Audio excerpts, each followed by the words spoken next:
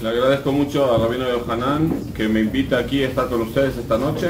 Acabo de venir de Barranquilla, donde estuve con otro grupo de Rabino Meir David Seda, que también eh, es un grupo que yo eh, tuve la oportunidad de conocer ayer, muy serio. Nos levantamos a las 5 de la, de la mañana para rezar a primera hora y fue una tefilá eh, con mucha abnegación, con mucha intención de que es difícil encontrar ese tipo de tefilá en otros batekneses, donde uno va y reza y reza, pero en realidad no siente inspiración, no siente lo que se siente en estos ñanim de eh, conversos genuinos, que vienen, dejan todo y vienen a rezar a las 5 y media de la mañana. Piénsenlo, no es nada fácil madrugar, dejar a la familia y eh, buscan a Hashem ávidamente.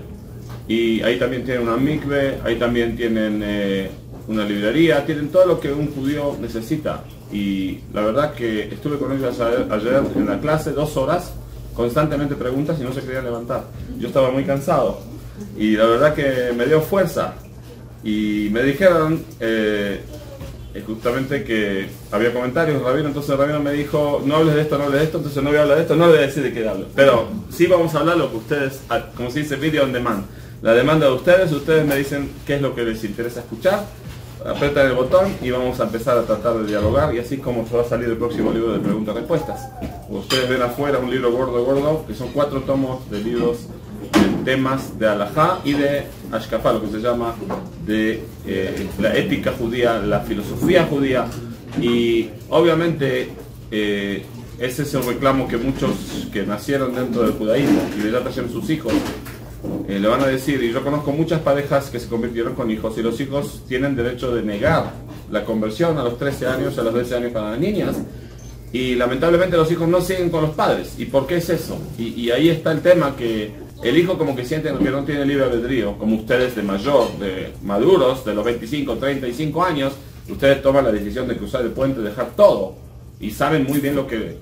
La derecha y la izquierda, lo bueno y lo malo. Pero un chico no sabe lo bueno y lo malo y obviamente le tira el mundo eh, materialista y le cuesta mucho más que a usted. Y ese es un reclamo que, que yo crecí en una familia religiosa y no tuve nunca el libre albedrío de ser eh, como ustedes. Y por eso me da mucha, mucha ganas. Digo, si ustedes vienen de afuera y eligen lo que yo lo, tengo ya de por sí como algo entendido, como algo que es obvio, entonces ahora lo valoro más.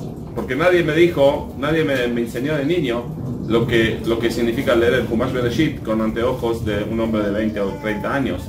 Lo leímos a los 3 años, a los 5 años, a los 10 años y con anteojos de, cuentos de la Biblia o todo tipo de eh, fiestas, Hanukkah, Purim, etc. Entonces, eh, uno de los temas que eh, también estuve en Medellín y ahí había todo un grupo que se convirtió, que vinieron especialmente del Ecuador. Y también una clase, hicimos un asado también, fue una experiencia muy, pero muy profunda, muy de Naneshama que yo estoy lleno de energía y estoy eh, muy, eh, por decir, agradecido con Hashem, que me juntó con este tipo de gente que busca a Hashem, sinceramente, y no viene a buscar eh, todo tipo de intereses, porque ustedes saben que una de las condiciones de la conversión es que el rabino tiene que examinar que el converso, el candidato, lo hace por amor a Hashem y por convicción propia, no tiene que tener interés económico, interés de casarse con un cónyuge judío o eh, por ejemplo, lo que pasa en Israel, que el ejército, hay más de medio millón de no judíos que vinieron de todo tipo de países, que según la ley israelí se llama la ley de retorno, que hay más de un millón de israelíes que se salieron de Israel y se casaron con no judías y traen a las esposas y a los hijos y los legalizan. Eso es la ley internacional de cualquier ciudadano que tiene derecho, el amor no tiene fronteras y puede casar y legalizar el estado de su cónyuge. Ahora, la ley israelí va mucho más allá, como muchos casos eh, en muchos países, y eso es lo que el señor Trump quiere abolir en Estados Unidos, que vienen inmigrantes embarazadas y nace el chico en Estados Unidos y el chico es americano. Él quiere abolir eso porque eso le da rabia, porque eso es como un ancla que obliga a los americanos a no echar. Entonces muchas veces echa a los padres y lo deja a los chicos. ¿Y quién va a crecer los chicos? Es un conflicto. Entonces más o menos para que entiendan, esa es la noción, les doy el ejemplo, lo que pasa en Israel, que la ley israelí reconoce no solamente a los hijos goim de estos israelíes que se casaron con goyot, sino también a los nietos. O sea, eso se llama la ley del retorno, que según la ley no son judíos, pero sin embargo son israelíes. Entonces, ¿qué pasa? Se está formando toda una crisis social. ¿Por qué? Porque estás hablando de más de medio millón de Goim, que tienen nombres judíos que hablan hebreo, van al ejército y hablan hebreo y, si, y sin embargo el ejército del Shin Bet, la, lo que se llama los servicios de inteligencia israelí, no le dan permiso a los drusos a los árabes o a los no judíos que puedan acceder a, ascender a un rango y darle un tanque, porque no hay confianza, puede agarrar el tanque y así como pasó eh, con todo tipo de árabes que agarraron un tractor, que trabajaban en la construcción y e hicieron atentados. Entonces, ellos se convierten para recibir la clasificación, lo que se llama eh, jurar la bandera. Hace 27 años me hice americano. Entonces me dijeron, ¿Are you willing to defend the Constitution? ¿Estás dispuesto a defender la Constitución y ir a pelear para Freedom of America, para lo que se llama la libertad de los americanos? Entonces le dije, sí, 100%. Entonces también ellos agarran el Tanaj, agarran la Biblia. Señor, usted jura que es judío y con eso... Pero eso no vale nada. El día de mañana Hazel Shalom se guerra. Son los primeros a escaparse, como los ratas que salen del barco hundiendo. Ellos no son judíos, no tienen ningún sentimiento. ¿Y por qué lo van a hacer? Y eso es exactamente lo que dijeron los egipcios cuando estaba el pueblo de Israel en Egipto. Cuando va a haber guerra, los primeros, la quinta columna, van a ser estos judíos que se van a rebelar contra y se van a unir a nuestros enemigos. Entonces, volviendo al tema, que salió un libro hace un mes, y yo hablé con el autor, como 500 hojas en hebreo, que habla de este problema que hubo hace más de 10 años que el gobierno tiene un drive. Un drive quiere decir, todo invierte un programa, invierte millones de dólares en Ulpan para estos israelíes no judíos que se conviertan. Entonces, ellos con eso pretenden solucionar el problema que ellos está creando. Y el 97% de estos conversos no cumplen Torah Mitzvot. Y eso es un reporte oficial del gobierno de los rabanos. ¿Cuánto por ciento? 97%. O sea, si, si, una persona tiene un negocio y ese negocio tiene el 97% de clientes que no le pagan, se bancarrota. Entonces hay que cerrar ese bedín. Y eso es exactamente lo que hicieron el rey David y el rey Salomón, que no aceptaban conversos en esa época. Porque es obvio que ellos venían por la gloria del pueblo de Israel y por la riqueza y por lo que sea, etcétera, etcétera. Entonces, hoy en día, todos los rabinos están de acuerdo, y había un rabino más, el más importante rabino, Rabbi Yashib, eh, que es rabino de y él dijo así, no solamente que estos conversos son goim, obviamente porque no cumplen toda la mitzvot, también ese 3% que se convirtió, pero por causa que el Betín es un Betín ya vendido, pagado por el gobierno, que lo hacen para hacer el Ford Line, ¿no? partes, hacen eh, la fábrica que junta el, carro, como hizo el señor Ford, Henry Ford hace 100 años, y ellos agarran, sí, judío sello automático. Entonces el Bedín ya perdió su confianza y es como un shohet que hace shejitá, que no revisa su cuchillo y le sale el 97% de las vacas de 100, le salen tares. ¿Por qué? Porque él manipuló mal el cuchillo. Y no decía llamar, no tiene temor a Dios. Entonces ese shohet ya no puede hacer, aunque sea lo que le sale bien callar, ya no se puede comer. Entonces también ese 3% que pobrecito que hicieron Gerut. Entonces, ¿qué pasa en Brasil, por ejemplo? Las comunidades judías, yo estuve hace poco en Brasil, no aceptan los conversos que se convirtieron en los Eso es algo viejo, que ellos ya lo sabían. ¿Y quién aceptan? Betín privado está Brandhofer, que lo llevé justamente a uno de tus amigos la semana pasada, está Rockerelit, famoso, y hay otros Betín.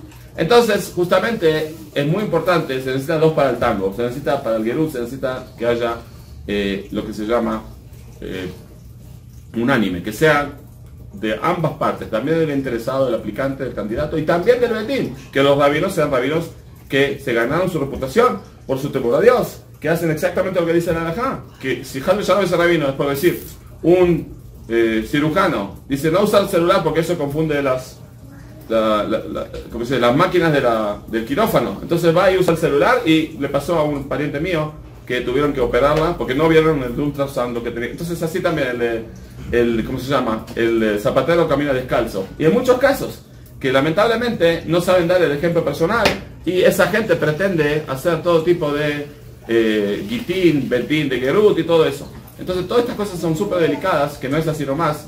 Ahora, también cuando se trata de una persona que se convirtió mal con estas personas, con estos betín, ahora él se casa con una mujer y esa mujer ahora se quiere separar de ese hombre y ese hombre no le da el divorcio y la deja desamparada. Entonces, ¿qué hizo el betín en un caso? Fueron al Betín de Gitín y esa persona, esa mujer se convirtió y nunca cumplió Torah Mitzvot. Todos los vecinos averiguaron, investigaron cómo tiene que ser. ¿Qué hizo el Betín? Señor, su conversión es falsa porque usted nunca cumplió y abolimos la conversión. No hay problema, no necesita que. ¿Por qué? Porque se casó con una no judía. Se casó con un judío. O sea, estuvo casada en matrimonio mixto. Entonces, automáticamente, ese es el gran problema. Y por eso, ayer, cuando hicimos la conversión, les dije, según la hay que esperar tres meses, va a venir el rabino Salazar de Miami, él va a ser eh, Kidushin, porque así exige la alajá, no hay que escatimar y no hay que dejar de lado ningún detalle de la alajá. Ok, vamos a darle chance por favor a las personas aquí que me den una orientación, qué es lo que les interesa, si hay alguna inquietud, o el rabino puede, por favor, si usted eh, podría ayudarme a entretener a la gente. Amén. ¿Cuál debería ser un enfoque de, un, de un ¿sí? Eh, ¿Qué debería buscar? ¿Aprobación de quién? Estás hablando de un converso. De un converso, sí. Ok, ok, muy bien, muy bien hecho. Tú sabes muy bien, querido Rabio Hanan, que eh, lamentablemente hay todo tipo de charlatanes.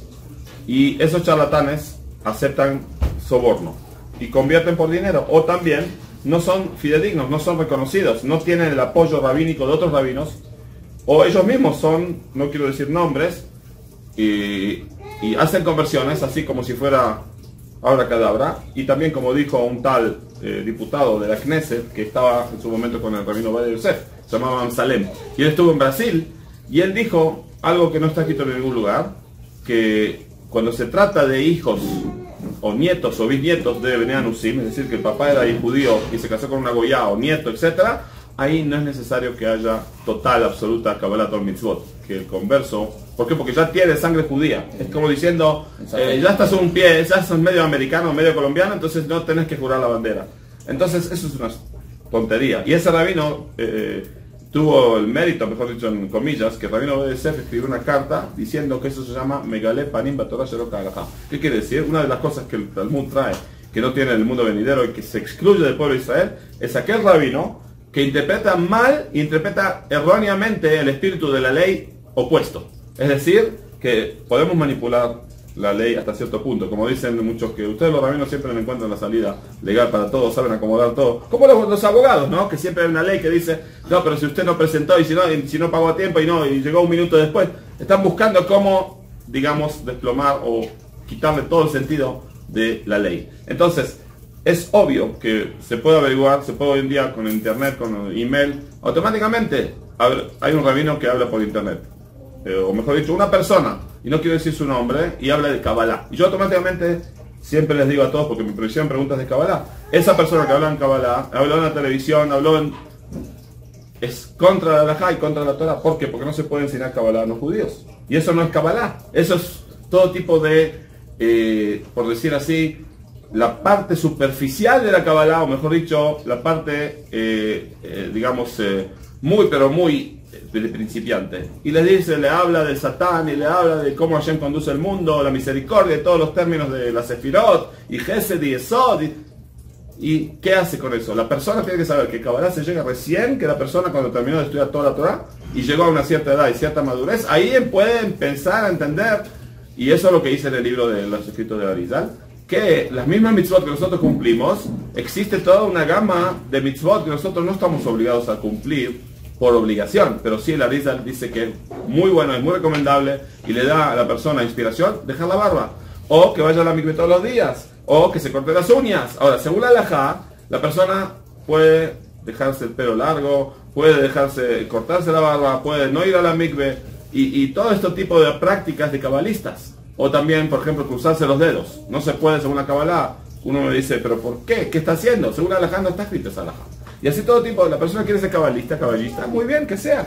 Pero si la persona no va a cumplir primero lo que está escrito en el texto del Chufan todo lo que es cabalá no vale nada. ¿Por qué? Porque ese es el tap, es la crema de la torta. Pero si no hay pan, entonces no vas a estar satisfecho con papas fritas. Primero querés comer un plato de arroz con pescado, ahí podés el dessert, después viene el postre. O una persona que se va a perfumar sin primero bañarse, ducharse. Entonces, como eso es lo que hacían los franceses, creo, que no tenían duchas, no tenían baños. Hasta hoy en día uno va ahí a Francia, al de, palacio, el palacio de Versalles y ahí mismo en París, no hay baños, no hay ducha. Entonces, ellos que hacían para no estar eh, mal olfato, mal olor, se perfumaban y había muchas eh, enfermedades y muchas propagaban muchas eh, epidemias a causa de eso porque no había higiene y eso lo inventó el señor Pasteur que era francés justamente hace 200 años, ¿no? Que él dijo que está la bacteria, que es invisible y así todo eso que eso evita y, por eso acusaron a los judíos que los judíos siempre tenían esa conducta de súper, súper higiene,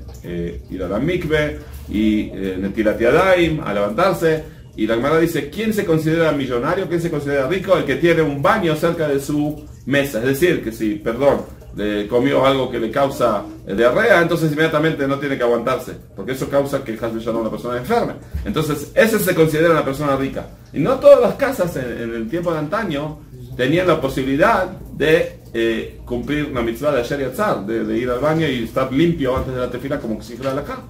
Entonces, volviendo al tema, lo que más importante cuando la persona quiere eh, buscar a un rabino, quiere buscar eh, una recomendación, siempre tiene que averiguar de otros rabinos y tiene que tener, es como un dominó, o que sos como tiene que ser, legal, o que no. Y obviamente siempre hay mucha envidia, también eso pasa en la yeguita con la carne. Eh, Israel dicen, ahora yo voy a ver una yeguita con todos los requisitos extra y super y eso va a ser... Y voy a romper el mercado y no voy a permitir que ellos ganen todo el dinero para ellos. Entonces automáticamente dicen, no, ese chiquita está mal y, y ensucian al otro y empiezan a pelear la bomba atómica, la guerra mundial. Entonces por eso digo que lo mismo pasa, lamentablemente hay mucha política con este tema. Entonces ustedes tienen que saber distinguir, tienen que ser inteligentes, quién es el rabino que de veras es serio y, lo que dicen de él es obviamente mentira o, está dentro del margen del error, que sí, que hablan de él porque sí le está haciendo la competencia, le está robando a los clientes. Pero al mismo tiempo, como dije, eh, una de las principal, cuando una persona va de la corte rabínica, imagínense que los dos litigantes le van a dar eh, el sueldo al rabino. Entonces el que le va a pagar más, el rabino le va a dar la razón. Entonces está prohibido absolutamente que el rabino que, juzga, que cobre por su servicio. ¿Quién le paga su sueldo? La ocupada de acá se hace un fondo de caridad que de eso tiene un sueldo fijo no importa si van a venir 20 personas o 5 personas. Había casos en Estados Unidos que los rabinos tenían interés, estamos hablando de rabinos ortodoxos, y ellos cobraban 2.500 dólares por sesión. Y era un caso de un get, de un divorcio, que cada uno de las familias era muy pudiente. Entonces estuvieron así tirándolos, tirándolos tres años Imagínense cada semana una sesión y gastaron como medio millón de dólares en ese dintorá de ese get. Y obviamente es contra la alajá. No se puede cobrar porque eso está creando la corrupción. Está nutriendo un sistema, un, lo que se llama un círculo vicioso que no termina. Entonces, eso es otro de los temas, que si ustedes buscan un rabino que quiere convertir, que no puede cobrar. Se le puede pagar algo mínimo, algo muy básico, como un arancel, pero no cobrar como hacen algunos rabinos. Y escuché que hubo acá con muchas personas que pagaron la y al final sí te vamos a llevar a Israel y no están cumpliendo. Y la gente está muy, lamentablemente, muy decepcionada de toda esa práctica. Pero es lo que pasa también con los abogados en Estados Unidos, que le dicen a los inmigrantes, te vamos a legalizar, y se escapan o, no, le, no, le, cumplen, le, hacen una apelación. Todo un sistema de corrupción que se aprovechan de la pobre gente que quiere eh, su objetivo. Entonces, vamos a seguir con más preguntas. Por favor, si alguien tiene algún tema. Eh, me olvidé de un chiste famoso, que dos, eh, personas estaban en una iglesia eh, juntando dinero. Uno tenía un Maguen David en su cuello y el otro tenía una cruz grandota. Dos pobretones sentados uno al lado del otro. Y obviamente venían los cristianos y miraban al lado, miraban al otro, veían al judío y le daban al cristiano el gran billete y al judío le tiraban una monedita.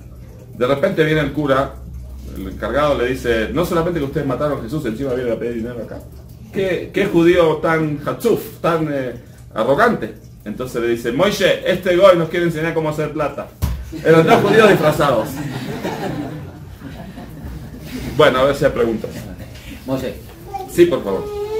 Eh, hablando en, esa misma línea del tema de la conversión, eh, ¿cuál es la característica o la razón, digamos, eh, he escuchado opiniones de que supuestamente las conversiones que valen, las únicas que valen son las que se hacen en Israel o se hacen en Estados Unidos y digamos ahí a veces se siente que, si no se hizo en Israel o en Estados Unidos la, conversión es como de menos categoría o no es válida frente a eso. Que, que reflexiona Ok, yo creo que acá hay dos temas. Un tema es válida para quién si quieres entrar a Israel y vivir en Israel, tienes que tener la conversión de Ramanut, así como si quieres entrar a Estados Unidos o algunos países en Europa que no te dan visa a menos que tenés solvencia económica y te, tienen una lista de requisitos que ello garantiza tu salida del país. Entonces en Israel están echando muchos latinos del país porque muchos latinos fueron y se quedaron para trabajar. yo creo que tú lo sabes muy bien, lo que estoy hablando. Incluso un alumno mío que fue conmigo a Miami se convirtió con un rabino, que ese rabino es reconocido por el Estado de Israel. Y ahora, de tanta presión que le hicieron a ese rabino, no voy a decir su nombre, él paró de hacer conversiones a los que vienen a hacer conversión para Aliyah. Pero este muchacho, después que hizo la conversión, que es válida para hacer Aliyah, fue a Israel y lo echaron. Y tenía el, diploma de conversión y no lo dejaron. O sea, ellos quieren, ¿por qué? Porque como dije, el sistema de, de, de vivienda, de beneficio, de social israelí es tan benevolente que tiene mucho, mucho dinero, muchos beneficios. Primeramente que acá en Colombia, por ejemplo, según lo que yo sé, el gobierno no ayuda en vivienda. Una persona que no tiene dónde vivir, el gobierno no interviene, que se vaya a dormir a la plaza. En cambio, en Israel no existe eso que hay una persona, una familia que esté desamparada. Lo mandan a un lugar donde sea, pero le dan prácticamente, especialmente si es una madre soltera o si es una divorciada o lo que sea, si es una pobre, le ayudan, hay toda una lista, hay todos los requisitos. O eh, lo que pasa también a todos los israelíes que le da seguro médico gratuito, básico, ¿no? Pero eso acá en Colombia, según lo que entendí, no existe. ¿Y qué más? Desempleo. Una persona no encuentra empleo, le dan cada mes un sueldo para que no se muera de hambre. ¿Qué más? Hay muchos beneficios. A los Olim Hadashim les dan exención de impuestos, un año, dos años, tres años, les dan un sueldo cada mes. Entonces, y también te dan pasaporte israelí que podés entrar a muchos países sin visa, lo que el pasaporte colombiano no tiene ese convenio. Entonces, es obvio que el gobierno israelí quiere parar ese abuso de parte de los interesados que vienen a Israel, que no son judíos. Dice, ah, muy bien, el, gobierno israelí lo está regalando. Entonces, vamos a Venezuela, vamos a tener un barco entero y todos se van a cortar, se van a circuncidar y se van a meter en el amigo con tal de poder tener solvencia económica. Entonces, ahí está el problema, que es contradictorio. Entonces, si estás hablando de la conversión de la Rabanut, si logras obtener ese papel que te permite ingresar y vivir a Israel como judío, es lo mejor que hay. Pero si estamos hablando ahora de una conversión fidedigna según la Alajá, puedo decir de los anti-sionistas en Estados Unidos, Satmar, que ellos también hacen conversiones, o Chabad, o Sefaradí, o cualquier otra conversión. De, eh, en Monsi, me dijeron que hay un Betín que hace conversiones, que va a muchos colombianos, ¿no? Eh, incluso también hubo un Betty que trajeron a México para hacer conversión y ellos se quedaron ahí en México a vivir ahí, no hicieron muchos allá. Y eh, nuevamente, judíos según la son si esas personas que se convirtieron siguen cumpliendo el mitzvot, porque sinceramente ellos se esforzaron y cambiaron su vida, hicieron todo lo que tenían que hacer según el libro, el texto lo que obliga a la alajá. Entonces, nuevamente, estamos hablando de dos aspectos distintos. El aspecto lo que se llama legal para ingresar al país y que no te echen, eso necesita la conversión de la Rabanut.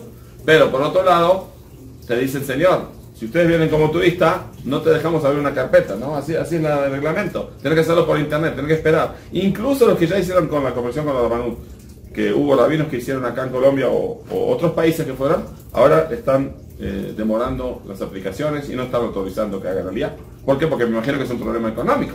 Porque ellos no pueden aceptar que vengan de repente de golpe en un año 20.000, 30.000 conversos que van a recibir y van a vaciar el déficit del gobierno israelí. Yo creo que contesté la pregunta. Sí, pero, o sea, una conversión acá en Colombia, en México, en el exilio, no es inferior a la, a la conversión. 100%, si hubo un betín fidedigno de tres judíos nativos y son eh, y son temerosos de Dios y son reconocidos por otros rabinos, seguro que lo puedes contar para mañana y puedes decir Kadish y puedes entrar ahí a rezar, todo. Y se puede casar con la hija, con el hijo, no hay ningún problema. Estamos hablando ahora de lo que es una comunidad. Una comunidad acá eh, tiene que ser reconocida por una comunidad, que en este caso es el rabino Goldschmidt, que ciertas conversiones se reconocen y ciertas no. Entonces, si no tenés el apoyo de una comunidad, no tenés el apoyo, lo que se llama, de una autoridad lógica, o tengo alumnos que, Baruch Hashem, ya tiene años que convertí, y se fueron a Lima, Perú, se fueron a Chile, y los rabinos de ahí, de Jabal especialmente, otros, reconocen mi conversión y lo dejan entrar, lo dejan, cuentan para mañana, y la realidad de Torah. Y eso, a pesar de que yo no soy reconocido por el Estado de Israel, y no quiero ser reconocido por el Estado de Israel, por ese mismo problema, porque voy a tener un millón y medio de personas que van a venir a, sobornarme. Entonces yo no soy un ser, un eh, ángel, entonces no, no estoy buscando ese problema para mí también. O sea, ya bastante tengo eh, digamos, eh, presión, o mejor dicho, tengo todo tipo de aplicaciones que la gente tengo que examinar. y Entonces, no, yo no estoy buscando, o sea, yo a los que no pueden viajar a Israel o a Estados Unidos no tienen visa, ahí es cuando digo, bueno, lo hacemos aquí. Porque quieren ser judíos, porque son muy serios, etcétera, etcétera. ¿Más preguntas? Sí. Eh, ahí respecto, pues siempre se ha hablado que eh, entre los padres Abraham Si puedes levantarte para que vea, para verte mejor. Sí, el padre Isaac, la, la, la gran... ¿Estás hablando de Isaac Avinu? ¿De los patriarcas Isaac Avinu? Sí. Habla claro, por favor. Sí, Isaac Avinu. Eh, él tiene la continuidad, ¿no? Que esa es muy importante porque Abraham abrió el camino, pero Isaac mantuvo la continuidad dentro de, dentro de la, dentro de la Viendo, digamos, los, los, problemas que usted habló al principio, de las personas que a veces tienen conversión, pero los hijos no siguen el camino. ¿Qué aconseja usted que, pueda hablar bueno, respecto sobre el tema? Bueno, acá, acá hay que aclarar lo siguiente, lo que Jajamín dijeron en la Gemara, que lleva tres generaciones para un converso que se eh, ingrese y que sea parte del pueblo de Israel. Es decir, que en el caso de Abraham Avinu tuvo una esposa, Sara, no tuvo hijos de ella, se casó con Agar, tuvo a Ismael. Ahora, la mamá de Ismael no era judía, era una sirvienta, era como una concubina. Ahora, Después tuvo a Isaac y le dijo a Abraham, Hashem le dijo a Abraham, de Isaac va a ser tu simiente del el pacto de Brit de que le voy a heredar la tierra. Y también había otra mujer que dice Rashi, que los Binea Pilakshim, los hijos de las concubinas, que no eran lo que se llama la mujer oficial como Agar o como Sara, los mandó a la tierra de Oriente y dice Rashi que regalos le dio, les dio regalos de brujería, nombres de poderes eh, espirituales y algunos dicen que los Barmans, en la India hay un grupo de personas que se llaman descendientes de Abraham, de Abraham Barmans, que tienen mucho poder de brujería, como la cama del fakir y, todo eso de hindú y todo, no voy a mencionar toda esa... Eh, entonces ellos, ellos heredaron ese poder de Abraham y son descendientes de Abraham. Y también hablan de los kung fu, de todos estos, los chinos, los japoneses, que son idólatras, pero prácticamente así dicen que ellos tienen... Eh, eh, esa fuerza, esa bendición. Los japoneses dominaron medio mundo hace 100 años, ¿no? Creo que ustedes saben la historia. Imagínense los chinos, que son un billón, un, eh, mil millones de personas, fueron dominados por un grupo de 100 millones de personas. Entonces quiere decir que los japoneses son una raza superior a los chinos. Esa es mi, mi, percepción de lo que pasa ahí en el Oriente, ¿no? No sé si ustedes entienden a lo que me refiero. Pero es la bendición de Abraham que le dio a su descendiente, por eso ellos pudieron controlar y, digamos, lo usaron para el mal. Lo usaron para el mal. Ustedes saben que en Corea eh, ellos abusaron, tenían campos de concentración, tenían gulags, los prisioneros americanos y británicos estaban ahí eh, en iguales, similares condiciones a los judíos en Europa. Y muchos de ellos murieron. Entonces, eh, volviendo al tema, que después de Isaac, se casó con Rebeca y Rebeca engendró dos hijos que prácticamente los dos eran judíos porque la madre era judía. Jacob y Esab. Entonces, la mayoría de los conversos vienen de descendientes de Esab, que es el mundo cristiano, y casi no existe converso de descendiente de Ismael. ¿Por qué? Porque la mamá no era judía y ya fue tamizado una sola vez. Es decir, como dije antes, Jajamín dijeron que tarda tres generaciones hasta que se purifica la misa estas almas. Ahora, el tercero quiere era Jacobo, que tuvo las doce tribus, y los hermanos lo vendieron a Yosef pensando que porque él dilató al papá y les dijo que ellos comen carne de un animal estando el animal en vida. Y también ellos eh, desprecian a las hijas de las sirvientas. Jacob tenía dos mujeres que eran sirvientas, que eran concubinas, las, las amas de casa de Rachel y Lea, que eran Bilha y Zilpa. Entonces ellos, como decir, tenían inferior estatus dentro de la familia de las tribus, a pesar de que eran los 12 tribus, eran todos eh, los, lo, más sagrado que Am Israel tuvo. Y sin embargo, Yosef, ellos pensaron que Yosef es la parte negativa, igual que Ismael y esa Entonces por eso lo vendieron. Así dice la risa. Entonces, el error fue dado, así dice la risa, que ellos recibieron de Jacobo la enseñanza de Sefer Yetzirah. Hay un libro de Kabbalah que Adam Arishon escribió y, perdón, perdón, Abraham vino escribió y ese libro, con ese libro es posible crear un animal, o crear como el golem, así dicen en Praga, que estuve hace un mes y medio, eh, un ser humano que no puede hablar, porque el único, el único que puede darle fuerza de habla es Hashem, pero un ser humano, un cabalista o un, una pregunta muy grande tiene derecho de crear o bajar del cielo una eh, criatura o un eh, Hulk, ¿no? O un, ¿cómo se dice? Una, toda una, entidad, ¿no? que prácticamente no es un ser humano absoluto, pero sí tiene fuerza de hacer cosas. Entonces, ellos creaban, así dice también la Gemara sobre ciertos rabinos, cada Erev Shabbat no tenían dinero para comprar carne, entonces con el Sefer creaban ese animal y lo comían sin chiquita. ¿Por qué? Porque del cielo nunca baja algo que es impuro. Entonces, todo lo que estuvo en el tiempo, en el momento de Amarillón, cuando Amarillón pecó, mezcló el bien y el mal. Entonces estaba prohibido para, hasta que vino Noé comer carne, porque estaba tan contaminado que tenían que pasar 10 generaciones. Recién cuando Noé salió de la Teba, ahí Dios le dijo que puedes comer carne. Pero antes de eso no comieron todos vegetarianos. Adán no tenía permiso de comer, porque estaba todo contaminado. Entonces Dios dice en la Torah después de 2000 años, cuando vino eh, Moshe Rabbeinu, recibió la Torah, y dice, ciertos animales no los puede comer en absoluto. Y ciertos animales, a, que, a pesar de que son kasher en sí, en su esencia, porque tienen pezuña y tienen eh, el estómago rumiante, sin embargo tenés que separar el sebo, tenés que separar la sangre, tenés que separar el tendón ciático de Gidan y así todo, ¿por qué? Porque fue contaminado por el pecado de Amarisham. Ahora, el Hazir se llama Hazir, ¿qué quiere decir Hazir? El puerco. Shatil la Hazir, cuando venga el Mashiach, Hashem va a erradicar de la faz de la tierra el espíritu malo, el espíritu de la impureza, y el, todos los animales, incluyendo el Hazir, que representa lo más abominable, porque come basura, y a veces decimos una persona que es un Hazir, ¿no? Esa es una expresión de como un jamor, una, diciendo lo más inferior que tiene lo máximo de materialismo. Entonces también el Hazir va a llegar a su nivel original antes del pecado de la maldición. Entonces como este animal no fue, no existió en el momento del pecado de la maldición, no necesita ni separar el cebo, ni hacerle merijá, ni shekitá. Entonces ahora existe, para que sepan, lo que se llama un concepto, tú que eres shoket, ben bekua. ¿Qué es ben bekua? Hicimos shekitá una vaca y está embarazada y dentro del vientre hay un... Eh, cabillón, un novillo. Se puede comer ese novillo sin chiquita. Se llama nitar timo. Entonces, un rabino dijo, ¿sabes qué? Vamos a hacer una granja de donde hay muchas vacas embarazadas. Vamos a hacer chiquita. Y esos chicos también, ese novillo que va a embarazar, tampoco el hijo de él, así, su no van a estar chiquita. Entonces, ¿qué vamos a eliminar? El problema de que no era taref. ¿Entendieron por qué? A ver, el chofer le va a explicar a lo mejor a qué me refiero. Entonces los rabinos se opusieron. ¿Por qué? Porque ahí nos vamos a olvidar la zarajos de chiquita. Y cuando la persona va a ir a hacer chiquita, un animal que no es novillo que nació del vientre, entonces no va a saber cómo hacer y se va a olvidar. Entonces los rabinos no quisieron darle mano. A pesar de que ahora está perfecto.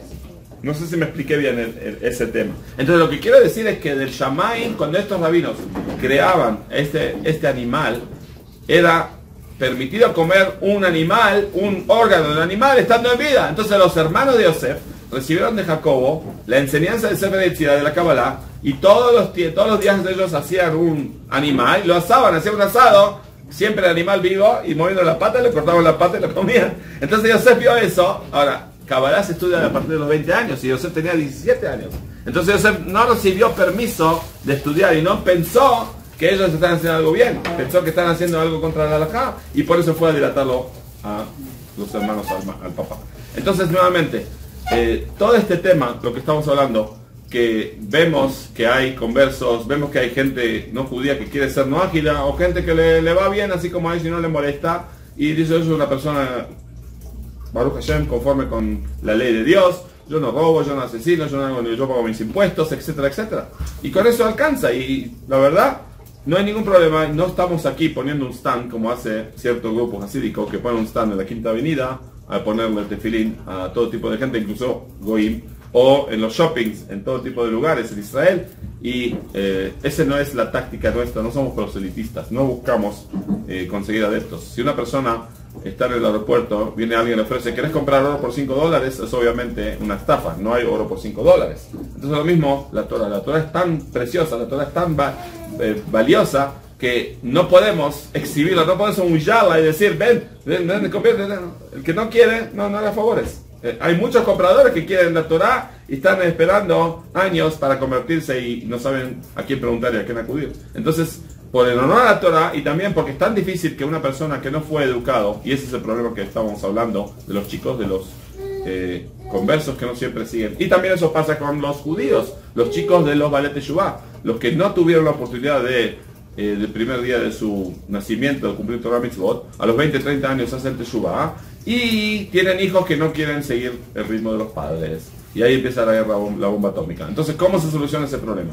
Entonces nuevamente, si una persona plantó un árbol de manzana o de banana o de cualquier otra fruta, que no espere que crezca eh, otro tipo de fruta. Entonces lo mismo, cuando la persona estuvo casado con esta mujer y era laico, era goy, engendró y eh, embarazó a esa mujer pensando lo que vio en la televisión. Entonces automáticamente eso se impregna en el espíritu del niño que va a nacer. Entonces, él ahora cuando se convirtió, después que ya tiene cinco hijos, y quiere que los hijos lo sigan, eh, eh, los caballos ya se escaparon del, establo. It's too late, honey. Perdón, pero no puedes exigir que ellos hagan lo que tú, al dance, al, folclore, al eh, baile de tu flauta. ¿Por qué? Porque tú los engendraste mal, torcido, con el espíritu malo y con toda la taba y con todo. Y le digo más, el Ariel dice que cuando Jacobo se casó por... trabajó siete años, le dijo, Labán, te voy a dar a Rachel. Y el Ariel explica que Rachel era Javá y Jacob era Adam Rishon. Entonces, cuando él quería casarse con Rachel, él sabía que tenía que hacer el ticún de Adam Rishon de pecado y con eso iba a traer los 12 Shebatim de Rachel, las 12 tribus. Y con eso va a ser el ticún de traer a Israel. Sin embargo, Labán es la Col quería erradicar al pueblo de Israel de raíz. Entonces le cambió y le puso a Lea. Ahora, Lea estaba predestinada a quién? A Esab. ¿Y cómo fue que ella se casó al final con Jacobo? Porque ella lloró tanto que Hashem escuchó la plegaria y Hashem hizo que permitió que Labán, el papá, manipulase la situación y sin embargo Rachel era tan sadeque que le dio, y ellos sabían que eso iba a pasar, le dieron códigos. ¿sabes? Cuando yo venga, y como era oscuro, no había luz, entonces él, ella, Rachel, le dio a Lea los códigos. A pesar de que cualquier otra mujer de ninguna manera permitía, permitiera que su marido se vaya con otra en la noche de las nupcias. Entonces ese mérito era tan grande, dice que cuando Jacob estuvo la primera noche con Lea, en realidad estaba pensando en Rachel.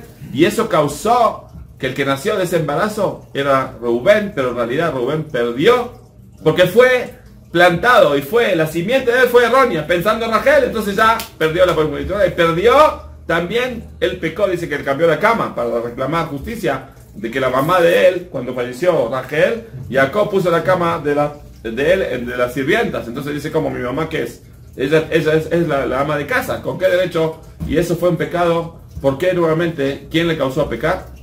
Labán. Ahora, ¿quién tiene la culpa? Es difícil decir quién tiene la culpa, pero la Torah dice, vaya Hashem kisnu Lea, y Hashem vio que Lea era odiada. ¿Quién la odia? ¿Jacob odiaba a Lea? No, pero no la quería como Rachel. Ya. Hashem dice, yo siempre voy a proteger al perseguido. Al, que nadie quiere, a ese exactamente lo voy a proteger, le voy a dar. Seis hijos tuvo. Y sin embargo, la, séptima vez que estuvo embarazada, tenía que tener el séptimo, y era Dinah. Y Hashem, ¿qué hizo? Lea otra vez a Decker por favor Hashem, que no sea un hombre, porque ahí mi hermana se va a explotar de nervios, va a poner, se va a poner totalmente eh, muy, muy triste. Entonces así dice vuelta el pasuk, que la tefilá de Lea, Hashem aceptó, y se volvió el sexo, el género, y salió una niña, que era Dinah, y por eso dice Batetze Dinah. ¿Por qué Batetze? Sí, pero ella tenía el llamado de hombre, por eso salía. Ahora, ¿con quién se casó Dinah? Dice la Rizal, se casó con Shem Ben Hamor, porque Shem era la reencarnación de la serpiente. Y Dinah es Otiot Nida, es la misma palabra, la misma letra de Nida, de la impureza, de la sangre que la mujer cuando menstrua. Y eso fue lo que la serpiente le puso cuando copuló con Jabá. Entonces, esa es la maldición que ella quería, tenía que corregir. ¿Y con quién se casó Dinah? Con Job. ¿Quién era Job? El hombre más sufrido de la historia. ¿Por qué? Porque él era uno de los tres consejeros de Paró. ¿Qué le dijo Bilam? Paró quería saber qué hacer con el problema judío. No era el primero, el Hitler. También Paró tenía ese problema judío. ¿Qué hacemos con los judíos? Entonces vino Bilam y dice, mátalos. Vino el otro, el otro consejero, no sé cómo se llama, Itro, eh, eh, dijo, no, dales que trabajen. Y el tercero, que era Job, se escapó, se cayó la boca. Entonces, como él no protestó y tenía la fuerza de comenzar a parar, sufrió. Entonces, dice que también hay otra versión, el Midrash, que Dinah no quería salir de la ciudad de Shem, hasta que vino Shimon, su hermano, y se casó, se juró, y se casó con ella, y la embarazó, y esa hija se casó con Yosef. Osnat. ¿Qué quiere decir Osnat? De la Son, de tragedia. Es el nombre, por eso no es bueno dar el nombre Osnat. Yo conozco muchas Osnat que son muy exitosas, pero ustedes no tienen que elegir. Así dicen los cabalistas, un nombre que tiene problemas lamentablemente. También el nombre de Dinah, Din, justicia, es muy exigente. Ahora, hay gente, por ejemplo, el nombre de Isaac también es justicia, porque eso es Isaac, la mitad de, de, la, de la ri- ri- rigidez en la alajá. Es muy bueno ser estricto, es muy bueno no cruzar la luz roja y no estuve en Barranquilla, entonces me llevó el David Meir y me dice, me puede costar este viaje hasta mil dólares de tantas cámaras que pusieron desde el aeropuerto hasta la ciudad, que le mandan como 400 o 500 pesos de multa. Había como 20 cámaras y viajamos así como tortuga. Entonces lo mismo, a veces lo barato sale caro, a veces eh, eh, eh, ser estricto a veces es más, es, es mejor, es más clemencia, es más misericordia que ser no estricto, porque uno dice, no, a mí no me importa, y ahí le va a costar bien, entonces de eso estamos hablando, tiene que haber justicia, tiene que- entonces los nombres de Tina, Isaac, son buenos, pero no demasiado, entonces ¿qué dicen los rabanim? Ponele dos nombres, y con eso se soluciona el problema que tenga un equilibrio o una eh, especie de endulzar el café. Bueno, entonces volviendo al tema lo que empezamos a decir, es muy difícil que una persona venga, yo tengo un caso de una pareja que me dice, Rabino, nuestra hija hace esto, y nuestra hija, señor, ustedes decidieron por ella, Él tiene- ella tiene derecho de objetar, y se terminó. Y ella objetó y dijo su palabra, ustedes no la pueden, ¿qué quieren? ¿Que ustedes, que, que ella la odie a sus padres? Ustedes no la pueden obligar. A las buenas sí, con caramelo, con, con mimo sí, pero así, gritarle, reprocharla, ustedes la plantaron, ustedes la, la, trajeron al mundo con esas condiciones y ustedes no tienen, es injusto que ustedes le reclamen. Esa es la forma correcta. Y le digo más, el Rav Shach siempre tenía a Badet Teshuvah que le iban a decir, Rabino, si quiere divorciar. ¿Por qué? Porque él hizo Teshuvah, la esposa no hizo Teshuvah. Estamos hablando de judíos. Y ella no quiere la mikve, ella no esto, no... Dice, perdón, cuando tú te casaste, ella sabía que se casó con un laico, con una persona que no le va a exigir kasher y mikve y shabbat. Ahora tú le cambiaste el esquema, problema tuyo. Entonces tú no tienes derecho. Y él dijo más, si se divorcian al final es porque hubo otras cosas Fuera. Eso es nada más la gota que derramó el vaso. Inteligente. Es algo muy, muy profundo lo que dijo. Pero si lo vamos a mirar así, una buena mujer, eso es lo que estaba diciendo en el taxi. Si es la mitad de naranja tuya, si es tu zibuk, ella te va a seguir a viento y marea. Ahora, le estaba diciendo a Rabio Hanan que la prueba que hoy en día nadie se casa con su mitad de naranja es que Rabbi Akiva se escapó y estuvo 24 años sin la esposa y volvió con 24 años. La esposa quiso divorciarse, ¿no? ¿Qué pasó con Rabbi Shimon Bar Yochai después que lo delataron? Lo querían matar los romanos. Se escapó a la cueva, 13 años. La esposa no quiso divorciarse. ¿Por qué? Porque era contra viento y marea. Ella sabía que si se va a casar con otra persona, no va a poder. Ella es parte de él y lo apoya hasta all the way. No existe. Hoy en día, si una persona va a dejar a la esposa 5 meses, directamente de divorcio. ¿Por qué? Porque nadie se casa con su pareja original. Hoy en día, los últimos 500 años. Entonces, lo que quiero decir que eh, también nuestros hijos no son nuestros hijos. Son, eh, somos como un cirujano en el quirófano que le traen un accidente a alguien, a ver, sálvalo, tráele, por favor, que ya está por morir, agonizando. O un auto que hizo un accidente, lo llevan al garage y el mecánico tiene que salvar y a veces no logra de salvar y la única forma es agarrar el motor que está intacto y ponerlo en otro carrocería. Eso es el Gilgul, a propósito, ¿no? Ok, ¿más preguntas? Creo que te contesté o no. Sí, Sí, por favor. Gracias. cuanto a la educación, Eh, ahorita esto, eh, en, David. Sí. En cuanto a la literalidad y el sentido figurativo de la Torah, podría ser una pregunta. Em, pues ahí en, en la, en la concepción del ser humano nos habla el Señor del Edén de cómo colocó a ellos y todo. Y la otra tiene que ver con la. Eh, pregunté y, Un poquito más alto la voz, por favor. Sí, me, me, me dicen de acá que pues no hay un instructor propiamente de, de la cábala. ¿Quién dice eso? Eh, aquí, aquí me dijeron de que había instructores para, para otros temas, de- del idioma griego, de, del ser judío, pero propiamente O sea, que no hay cábala- recubalismo en Colombia. No, ni yo tampoco soy cubano. Pero ¿dónde sí hay? No tiene, no tiene que uno preocuparse, preocuparse que no hay. Yo creo que a veces es como decir, eh, hay materias, matemática, hay profesores de matemática, hay eh, álgebra, historia.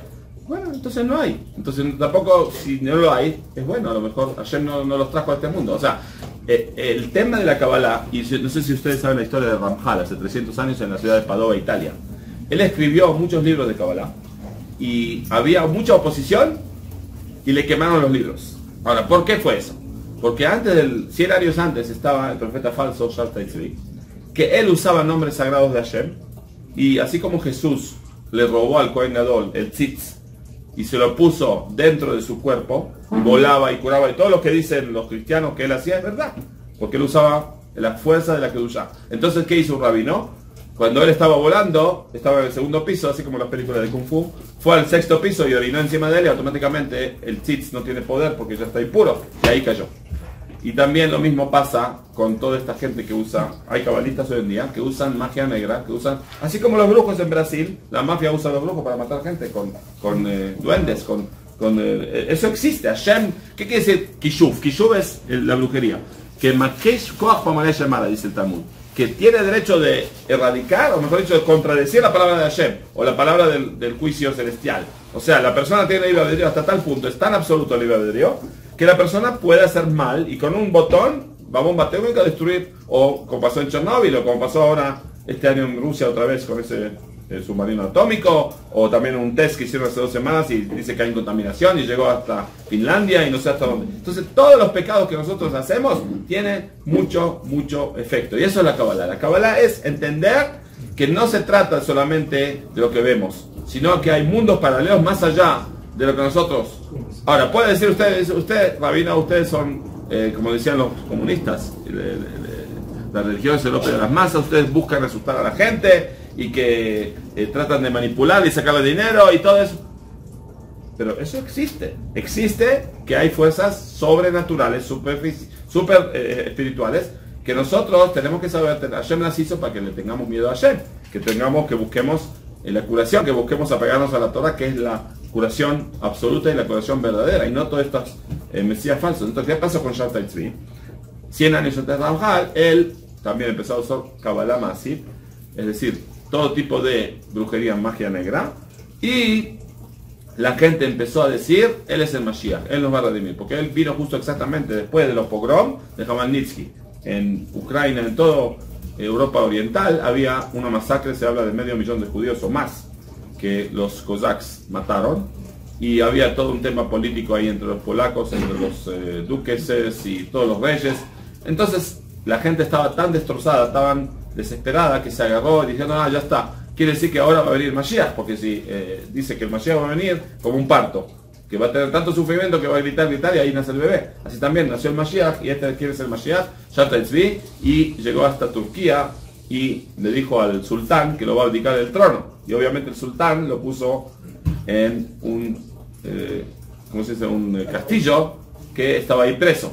Ahora el sultán, como era tan amante de los judíos y los judíos estaban ahí después de la expulsión de, España, que tenía mucha influencia los, los, judíos, lograron de que no lo mate. Pero ellos también lograron con coima, con soborno, que hicieron ahí eh, todo un rebe, un tish dentro del castillo, dentro de la, de la, de la prisión, que venían los judíos a recibir Berajot, y los mismos turcos también, veían que era su nombre sagrado, su nombre, y era toda mentira, él usaba, y, no voy a decir acá de Betacneset todas las, abominaciones que él cometía, él decía, con eso estamos acercando al Mashiach. Bueno, eso lo dejamos acá, es prohibido para menores de 18 años. Pero de todos modos, lo que quiero es decir que el Ramjal, que era neto neto de la Kedushá, cuando él empezó con ese tema, entonces es imposible, él es alumno de Shat y es un otro, otro Mashiach falso. Ahora, ¿cuál es la prueba de eso? Porque el único que tuvo profecía el único que tuvo eh, fuera de Israel es Yehezkel, el profeta de Yehezkel. Pero todos los profetas estaban siempre en Israel, porque ahí es donde está el wifi, está ahí la Shekhinah, está el poder que emana Dios en el Israel, la sabiduría divina. Ahora, ¿qué es lo que pasó con el profeta Jonah? Que se escapó. ¿Acaso él es tonto? ¿Sabía, ¿No sabía que Dios lo va a agarrar? No, explica nuestros sabios. Yoná sabía que si él va a ir a luchar de Nimbe, van a hacer Teshuvah y va a ser una contradicción, una acusación contra los judíos. Entonces, para no recibir wifi de Hashem, se escapó de Israel y ahí ya no hay profecía. Y pensó que con eso se va a liberar de eso. Yo creo que contesté tu pregunta. La primera parte. La primera parte.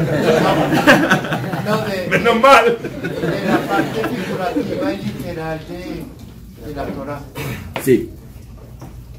¿Qué es, la, ¿Qué es lo que quieres saber? Por favor, eh, exprésate. No me dejes en intriga, quiero escucharte. O sea, hay, hay ambigüedad en, en la gente de no saber si, eh, si fue una, un fruto el que ellos comieron. ¿Quién? ¿Adán y Jabá? Sí. O- Eso no viene al caso. Es más claro que tener que marcar qué tipo de fruto. Pero lo que simboliza ese fruto, es decir, que ellos hicieron acá un cóctel, que mezclaron alcohol con, eh, por decir, martini, hay ciertos cócteles que salen bien y ciertos cócteles que, que hacen explotar la, la- la barriga. Así también, es algo espiritual eso. Sí. A ver. Lo, lo que mm, la serpiente le... eh, o sea, Le sedujo a Jabá. Y no fue de Adán porque sabía que la mujer es más fácil de seducir. Ustedes saben. No tan fácil. Bueno. Sí, sí, sí, está bien. Con mucho gusto. Sigue.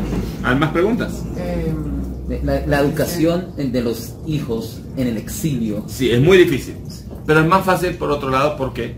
Porque lamentablemente eh, Israel, ¿no? No sé si ustedes saben, en Estados Unidos hay policías en las escuelas.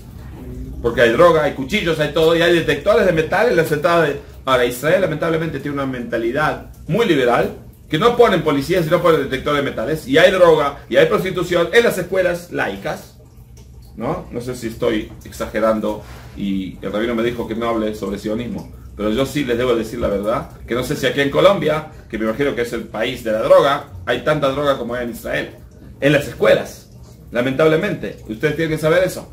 Y hay, por ejemplo, una ola de migración de franceses que se están escapando del antisemitismo y van a Israel a las escuelas públicas y ahí se hacen laicos y se hacen peores de lo que estaban en Francia. Porque en Francia estaba una comunidad que tenía el derecho de vetar la entrada del ingreso a todos estos chicos que no son aptos para una escuela judía. Por más que es una escuela mixta o es una escuela que no enseña Torah mucho, pero sí tenían un nivel eh, X mínimo de admisión y como pagan colegiatura, no pay, no say. Si no pagas, no te derecho de... Pero ahí en Israel entran todos, porque nadie paga. Entonces, el que no paga, no pay, no say, no tienes derecho de objetar. Y hay muchos chicos que lamentablemente tienen que estar en escuelas de, por decir, juvenil. Hay lo que se llama una prisión juvenil y hay también instituciones juveniles para chicos problemáticos, huérfanos o hijos de divorciados, todo este tipo de casos de chicos violentos. Hasta tal punto llegó que una maestra que los chicos le pegaron fue a la corte para que saquen a ese chico de la escuela y la, la escuela defendió al chico y no permitieron que saquen a ese chico de la escuela. El chico tiene derecho superior al derecho si la maestra quiere que se vaya de la escuela. Pero el problema es en todo el país. Entonces yo creo que cumplí tu deseo de no hablar mal de Israel. Y, y como dice mi esposa, yo soy una encarnación de los espías. Pero hay que ser realista. El jinuj, la educación en todas partes hoy en día, es difícil. Entonces lo más ideal es que ustedes acá se hagan su propio sistema, que tengan derecho de admisión. Y no admitir a cualquiera, un chico malo, un chico que lamentablemente se tragó la televisión y Pac-Man y eh, por eso dicen que todo esto es lo que pasó en Estados Unidos, con la venta de armas libres, que los chicos ven televisión y que mató, que entonces ah, bueno, es un juego. Y por eso hay tanta, tanta violencia en Estados Unidos. Así me lo dijo un psicólogo. Y ellos no saben cómo superar la situación. Entonces yo creo que nadie quiere experimentar con su propio hijo eso. Es muy delicado todo ese tema de educación. Ok, vamos a pasar a los próximos que quieren preguntar. De las mujeres nadie quiere muy recatadas. Sí, por favor. Eh, bueno, yo tengo dos preguntas. ¿sí? Eh, la primera es, eh, ¿cuáles son las condiciones que debe tener un baby para que la conversión según la laja sea, sea kosher? Hay un libro de leyes de conversión. Ahí dice que la conversión tiene que ser de día. Tiene que ser con una migbe kosher. En el caso de la migbe en Medellín que hicimos ayer la conversión, ahí si no llueve, ¿qué hacen? Agarran lingotes de hielo, lo meten dentro, se derrite y se llama agua que no fue bombeada. Y así por el estilo, hay muchos problemas técnicos que superar. Tiene que tener un mínimo de 500, 500 li- 550 litros en la migbe. Que la persona se pare y cubre por lo menos hasta su hombro. Hay hombres muy altos o mujeres muy, muy bajas, entonces, o hombres muy bajos. Entonces, eh, tiene que estar apto en ese sentido. Y también la circuncisión. Muchas veces la circuncisión no está bien hecha. O también, lo más importante es la preparación. Que la persona no tiene que saber toda la Torah, pero sí tiene que saber lo principal, la filosofía de la Torah, el sentido del judaísmo y la mayoría de las mitzvot, las, del ciclo, como dice Rabino Goldschmidt, que estuvo alrededor de una comunidad emergente un año con el ciclo judío con todas las fiestas. Entonces ahí es cuando le podemos decir, a mí la verdad me encanta la, fie- la fiesta de Sukkot porque es cabañas y así, veranear. Y otro dice también me encanta eh, Shavuot y a mí me encanta eh, Matzah. eh, hay muchos que la matzá le causa problemas estomacales. Entonces yo no sé, le digo a muchos, a ver, ¿estás seguro? Quiero que eh, examines de cerca si tú estás dispuesto a comer tanta cantidad de carne o tanta cantidad de leche. Ahora, uno me dice, si soy vegetariano, excelente, no estás obligado a comer carne. Al contrario, es más fácil cumplir kashrut cuando uno es vegetariano. Y así todo, cada uno tiene su eh, eh, costumbre o sus hábitos que sabe adaptarse. Pero verdad que la condición del Betín, que como dije antes, que los rabinos son, que los miembros del Betín son gente honesta, que nadie se queja de ellos que hizo un fraude, que nadie se queja de ellos que no, que lo vieron comiendo taref en la calle, o que no cuidan Shabbat. Eso es el mínimo, el mínimo. Entonces ahí es cuando eh, el kashrut, el gerut de la conversión de esa persona es indiscutible. Pero si esa persona se convierte ahí, al otro día se va y deja el judaísmo, esa conversión obviamente es inválida en absoluto. Por eso cuando uno hace Kiddushin, le dicen a los testigos, porque el, que el rabino que hace el Kiddushin, la ceremonia, no es el que hace el Kiddushin. Los testigos que ven cuando le dice Areas Mekudeshes son los que validan el Kiddushin. Lo mismo pasa. ¿Qué le dice la Rabanut? Los rabinos dicen al Kiddushin, hagan Teshuvah. Porque si un rabino es un gran rabino que sabe toda la Torah, pero él presta dinero con interés, no puede ser un testigo kosher y no puede validar un Kiddushin, ni también ser miembro de una corte de Betí. ¿Qué pasó con eso? Y en cuanto a la, digamos, a la condición de los rabinos, ¿es necesario que sean de Israel o pueden ser conversos? O pueden No, no pueden ser conversos, lejatjila. Tienen que ser judíos nativos. Pero algunos rabinos dicen que sí son válidos y eso es discutible. Y ahí empieza el problema entre los que dicen que sí y los que dicen. Entonces una persona va a comprar, por decir, yo quiero comprar euros. Bueno, te voy a decir, mira, en Checoslovaquia el euro es válido, pero en Alemania no. Entonces no, dame un euro que es válido en todos los países, 27 países de la Unión Europea. Es lo mismo que pasa con esta conversión. Ahora, yo personalmente hice tefilá con conversos que se convirtieron en Betín, que está compuesto por conversos. Porque yo pregunté, me dijeron que sí, que si ellos cumplen Torah Mitzvah, todo lo que es de Rapanán, es decir, para hacer tefilá, para darle la ley a Torah, es válido. Todo lo que es de Oraita, casarlo con una judía, ahí no. Tiene que hacer conversión con un Betín fidedigno 100% que no es indiscutible, porque es de Oraita. Tenemos una regla que se llama Safek de Rapanán le Kulá, Safek de Oraita le Jumbrá. Todo lo que es una discusión entre rabinos y está relacionada a una pregunta, a un dilema alágico de origen de la Torah, ahí es cuando hay que ser estricto. Y cuando se trata de origen rabínico, ahí podemos atenuar. Pero eso no quiere decir que es una plastalina que podemos manipular. Estamos hablando que la situación se dio así. Entonces, lejatjila hay que hacer las cosas bien. ¿Para qué venderle un, do- un documento o venderle un diploma que para ciertos rabinos es válido? Para entonces le estás haciendo un fraude a ese pobre converso que ahora se va a reclamar. Y yo sé que hubo casos de gente que se enojó mucho con esos Betín, que le dijeron, ¿y por qué me hiciste la comisión? ¿Por qué no me dijiste? ¿Por qué? ¿Por qué? Y tienen razón, hay que hacer las cosas bien. ¿Para qué dar lugar a, a que digan que él no es judío? Ok, ¿más preguntas?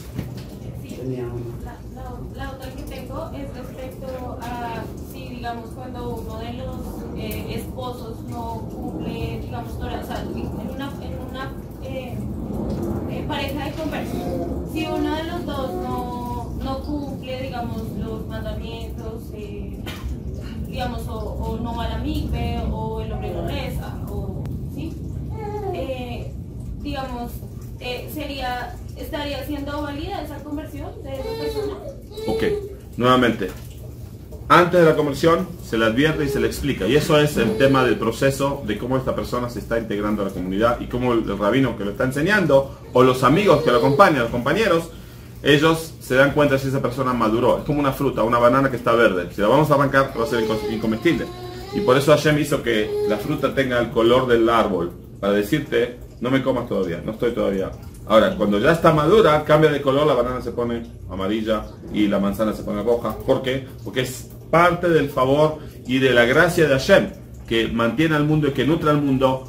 También a los Reshaim les da de comer, también a los animales les da de comer. Y él hizo que el mundo sea exquisito, que sea lindo, que sea para gozar el ser humano. Entonces, así también, esta persona, si no está madura y lo mandan a convertir, ellos pecan, los que están alrededor de ese rabino. Pero si esa persona sí está madura y simplemente le entró la locura y de verdad se arrepintió porque es inestable mentalmente, o sea, para ser rabino de conversiones hay que ser más psicólogo que rabino. Para entender, como le dije a uno, ¿acaso le prestarías a esa persona que convertís mil dólares? ¿Le confías? ¿Es mentalmente estable o no?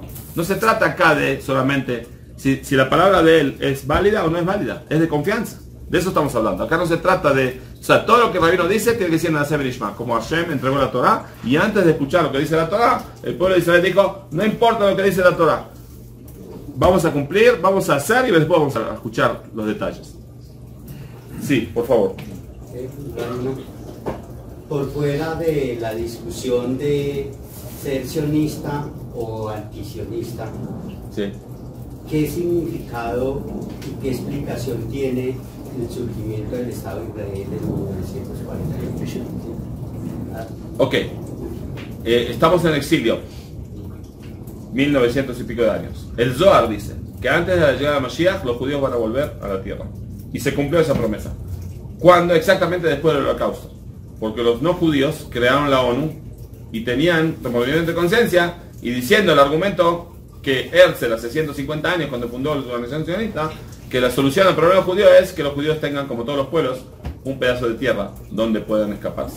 Entonces ellos decían, si, los judíos tenían permiso de entrar, que los británicos hundían barcos llenos de refugiados judíos, entonces Hitler no lograba matar 6 millones de judíos. Entonces ellos aceptaron en parte, digamos que se, se manipuló la conciencia a las naciones. Ahora, ¿quién aprobó? Rusia aprobó la creación del Estado. Hoy en día, o después de la guerra de los seis días, Rusia retiró su apoyo a Israel y le daba armas a los árabes. Y hoy en día se dio la tortilla otra vez. Y Putin invitó a los judíos de Fran- de Francia, dijo ahí, aquí no hay antisemitismo, están más seguros que Francia vengan a Rusia. Entonces, son cosas que, como dice el versículo, el corazón de los reyes está en manos de Dios. Ahora, todas estas evoluciones, todos estos eh, acontecimientos históricos que están pasando, que pasaron, son parte del programa de un esquema que rompecabezas de a la raíz del pecado de Adam Rishon. Que Adam Rishon trajo al mundo lo que trajo, la oscuridad y esas Neshamot, como dice el, Tosfot en Kiddushin. ¿Por qué el pueblo de Israel fue al exilio? Entonces, obviamente la pregunta no es pregunta, porque si, si dice la Torah que si vas a pecar, después de entrar a Israel vas a pecar y te voy a exiliar con barcos. Así dice el pasú. Entonces, ¿cuál es la pregunta? Es obvio que a causa de la penitencia, a causa del castigo que Dios le promete a los judíos que no van a cumplir la Torah, y Dios lo predice que va a ser así. Dios no dice sí va, dice sí, así va a pasar.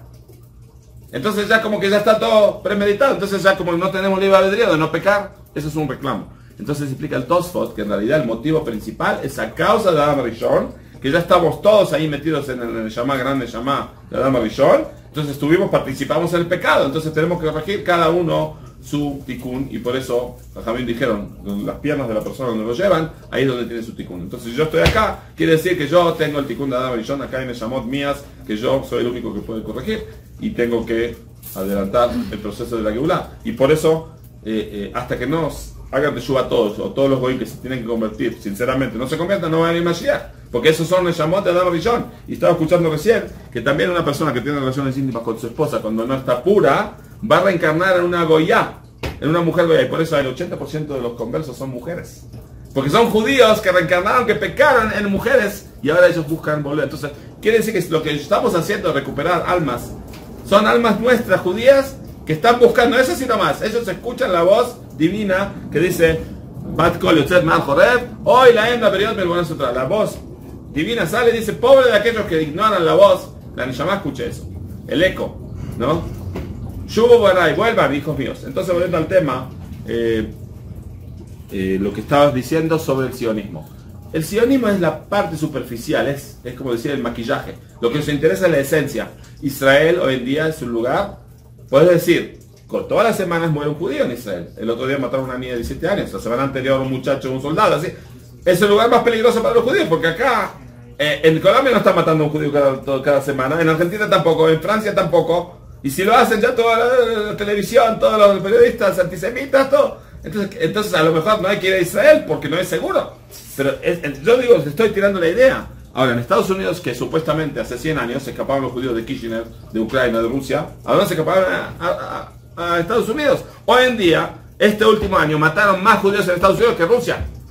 ¿Cómo se da vuelta la tortilla? Nuevamente, no hay donde escaparse. Si Hashem quiere conseguir a la persona, el ticón de él que va a morir en ese lugar, ahí es donde va a morir. Y si muere por ser judío, directo al paraíso celestial y superior. ¿Por qué? Porque él está santificando de Dios y lo mataron por ser judío, aunque sea que sea un soldado que fue al ejército y él no cumple Torah Mitzvot, ellos, Hashem les da un trato especial, los trae reencarna y los, los, los- los-. Pero es lo más sublime, lo más sagrado que puede haber, que la persona sea matado por un gol. Entonces no estoy dando ideas a nadie que quiere ser mártir, ¿no? Pero lo que quiero decir que seguro que la persona dice, eh, eh, voy a ir a Israel y ahí es todo mitzvot, comida kasher fácil, Shabbat, 100%. Yo conozco muchos que fueron a Israel y se quedaron y están, comieron perdices, están contentos. Pero por otro lado, hay muchos que volvieron.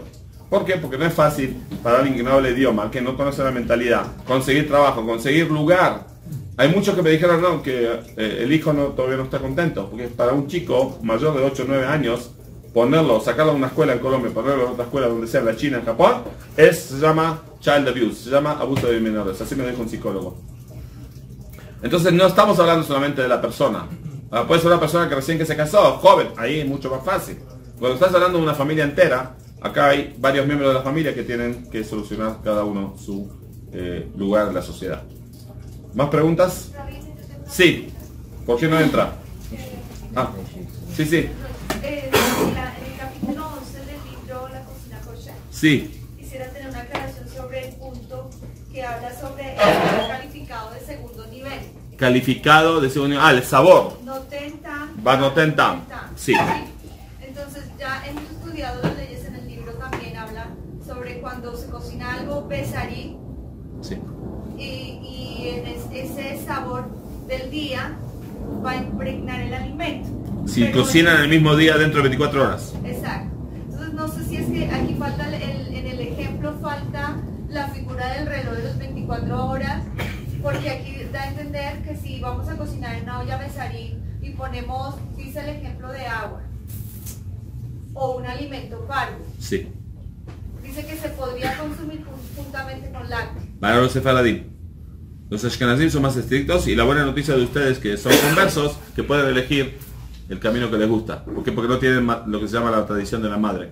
Entonces, un converso puede ser o ashkenazí y decir burihatu, o asfaradí y decir baruch y, y así el, el de la tefila y todo eso. Y también alajá. Según Rabbi Yosef, yo puedo agarrar una olla de carne, cocinar arroz y comer ese arroz con leche. A pesar de que es el mismo día. Ahora, nosotros tratamos de evitarlo. Pero si la persona está en un lugar de camping, no está en su casa, no tiene 20 ollas y tiene una sola olla, puede hacerlo. Ahora, si la persona quiere seguir el dictamen del Ramal, el dictamen de los Ashkenazim, o ciertos sefaradim que son estrictos, ahí es cuando tiene que esperar 24 horas, o que simplemente le haga galar. Agarre agua hirviendo, que le vierta encima, que le ponga fuego, que, que hierva un poquito de burbujas y con eso ya se llama que es una olla cero, eh, reset, que ya puede usarla para lo que quiera. Ahora, eh, con respecto a algo nuevo que leí hace poco y que Aruch hace 20 años también dijo que es verdad. Eh, hace 100 años se inventó en Alemania el jabón que tenemos hoy, el detergente. Que nunca existía antes, en el tiempo de la Gemara no existía un jabón tan fuerte que es capaz de limpiar y hacer no ten tan aunque sea que no es beniomó, lo hace en no beniomó. Porque el detergente que fue inventado por los alemanes es muy bueno, muy fuerte, que le, le- le- quita el estatus de beniomó. Lo hace en tan rifgam. Ahora, otra cosa más. Cuando una persona cocinó para Shabbat y la olla de chunt o la olla de la comida quedó ahí todo el Shabbat, se pega. ¿Qué hacemos para sacar y limpiar de Motzai Shabbat? La agarramos y la ponemos en, la, en el grifo con agua hirviendo. Ahora, ese agua hirviendo es como agalá.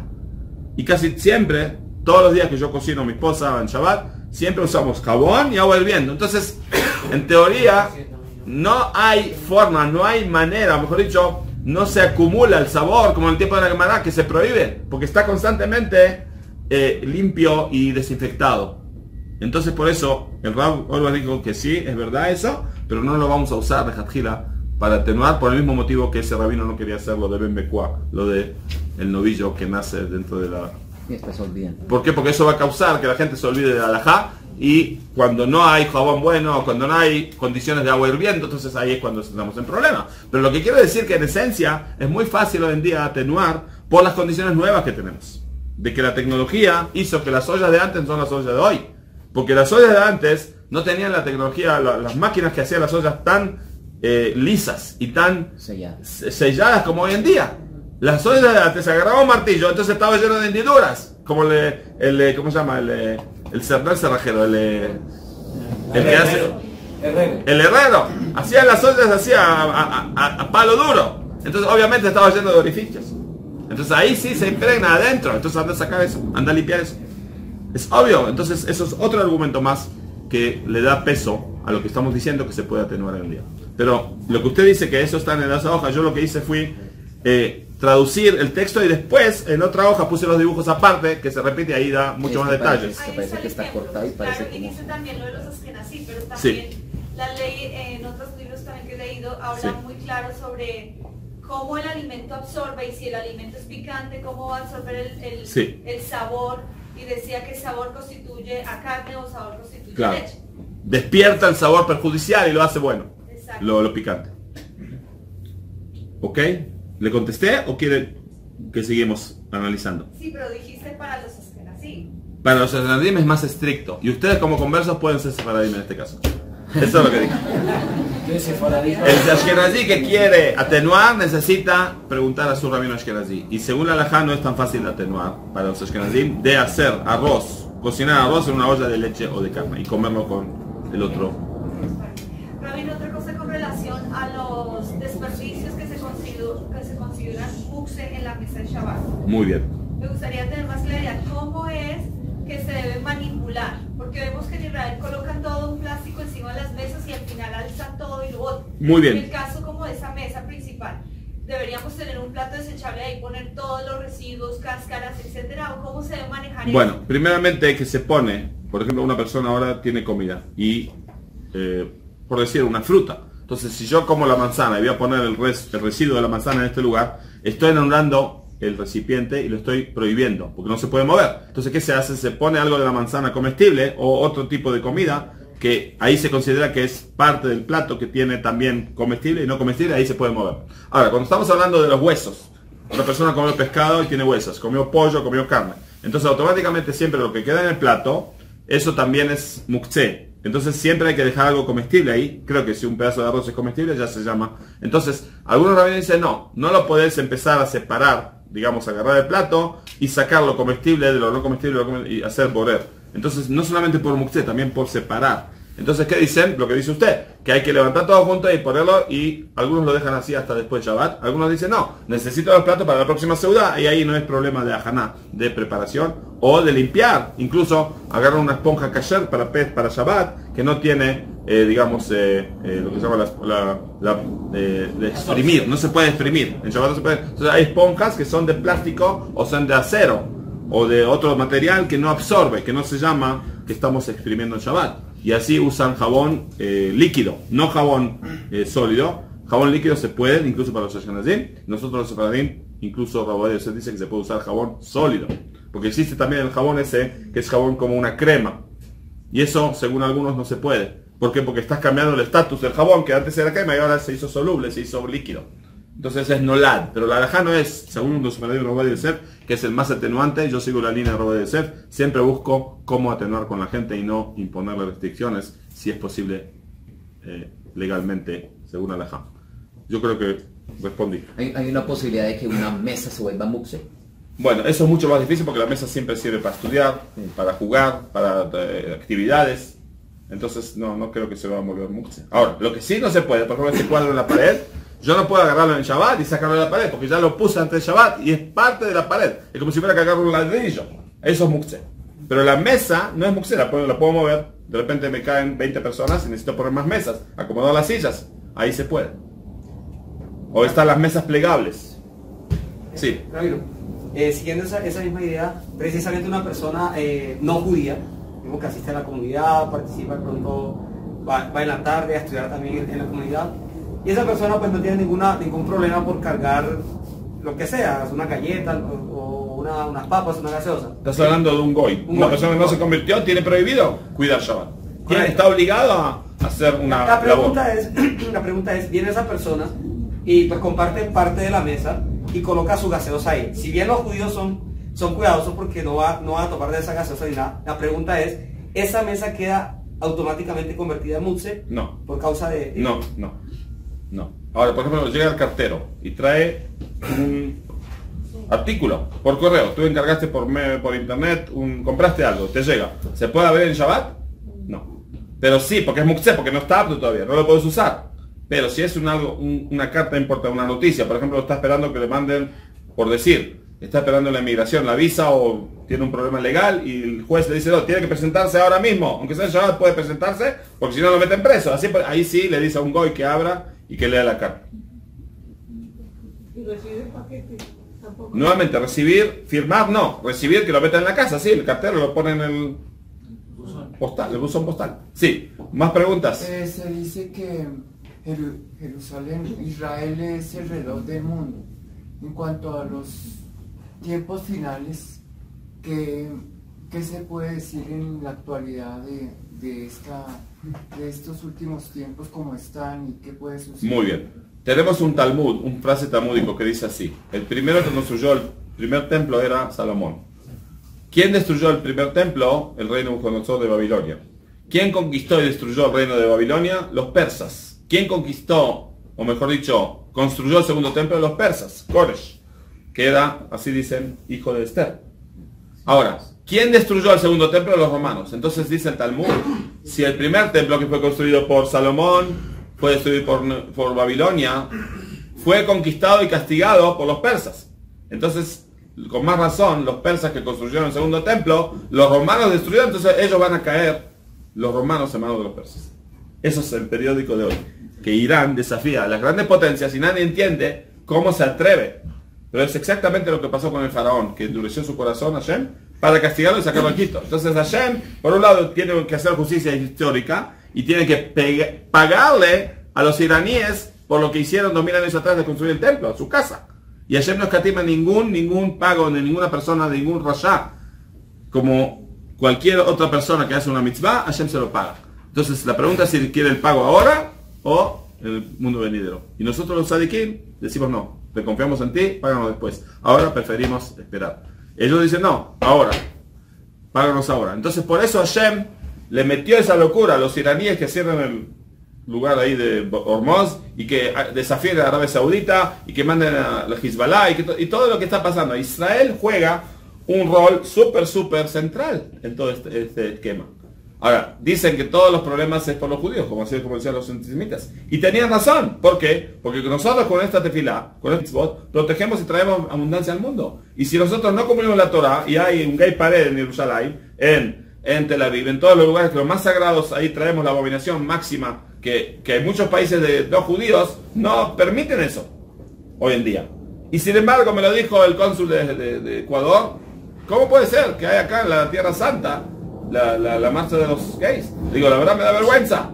Y eso es exactamente lo que va a pasar, que Dios va a castigar a todos estos perversos, que son descendientes de Kenan, que son descendientes de toda la abominación que ellos agarraron a los chicos y los quemaban vivos en el altar, así como me dicen que estuve en, en Texticlán, ahí en, en México, que hay eh, pirámides que encontraron huesos de niños. O sea que era una cultura que tenía esa práctica del molec, de la idolatría de quemar, de sacrificar. Y por eso cuando Abraham vino le dijo a Isaac, llévalo y mátalo. Y estaba dispuesto a hacerlo. ¿Cómo? Si tú estás diciendo que es una abominación, matar a un niño inocente en, en honor al ídolo. Entonces, ¿cómo lo haces? Y Abraham, a pesar de todo, está dispuesto a hacerlo por orden de Hashem.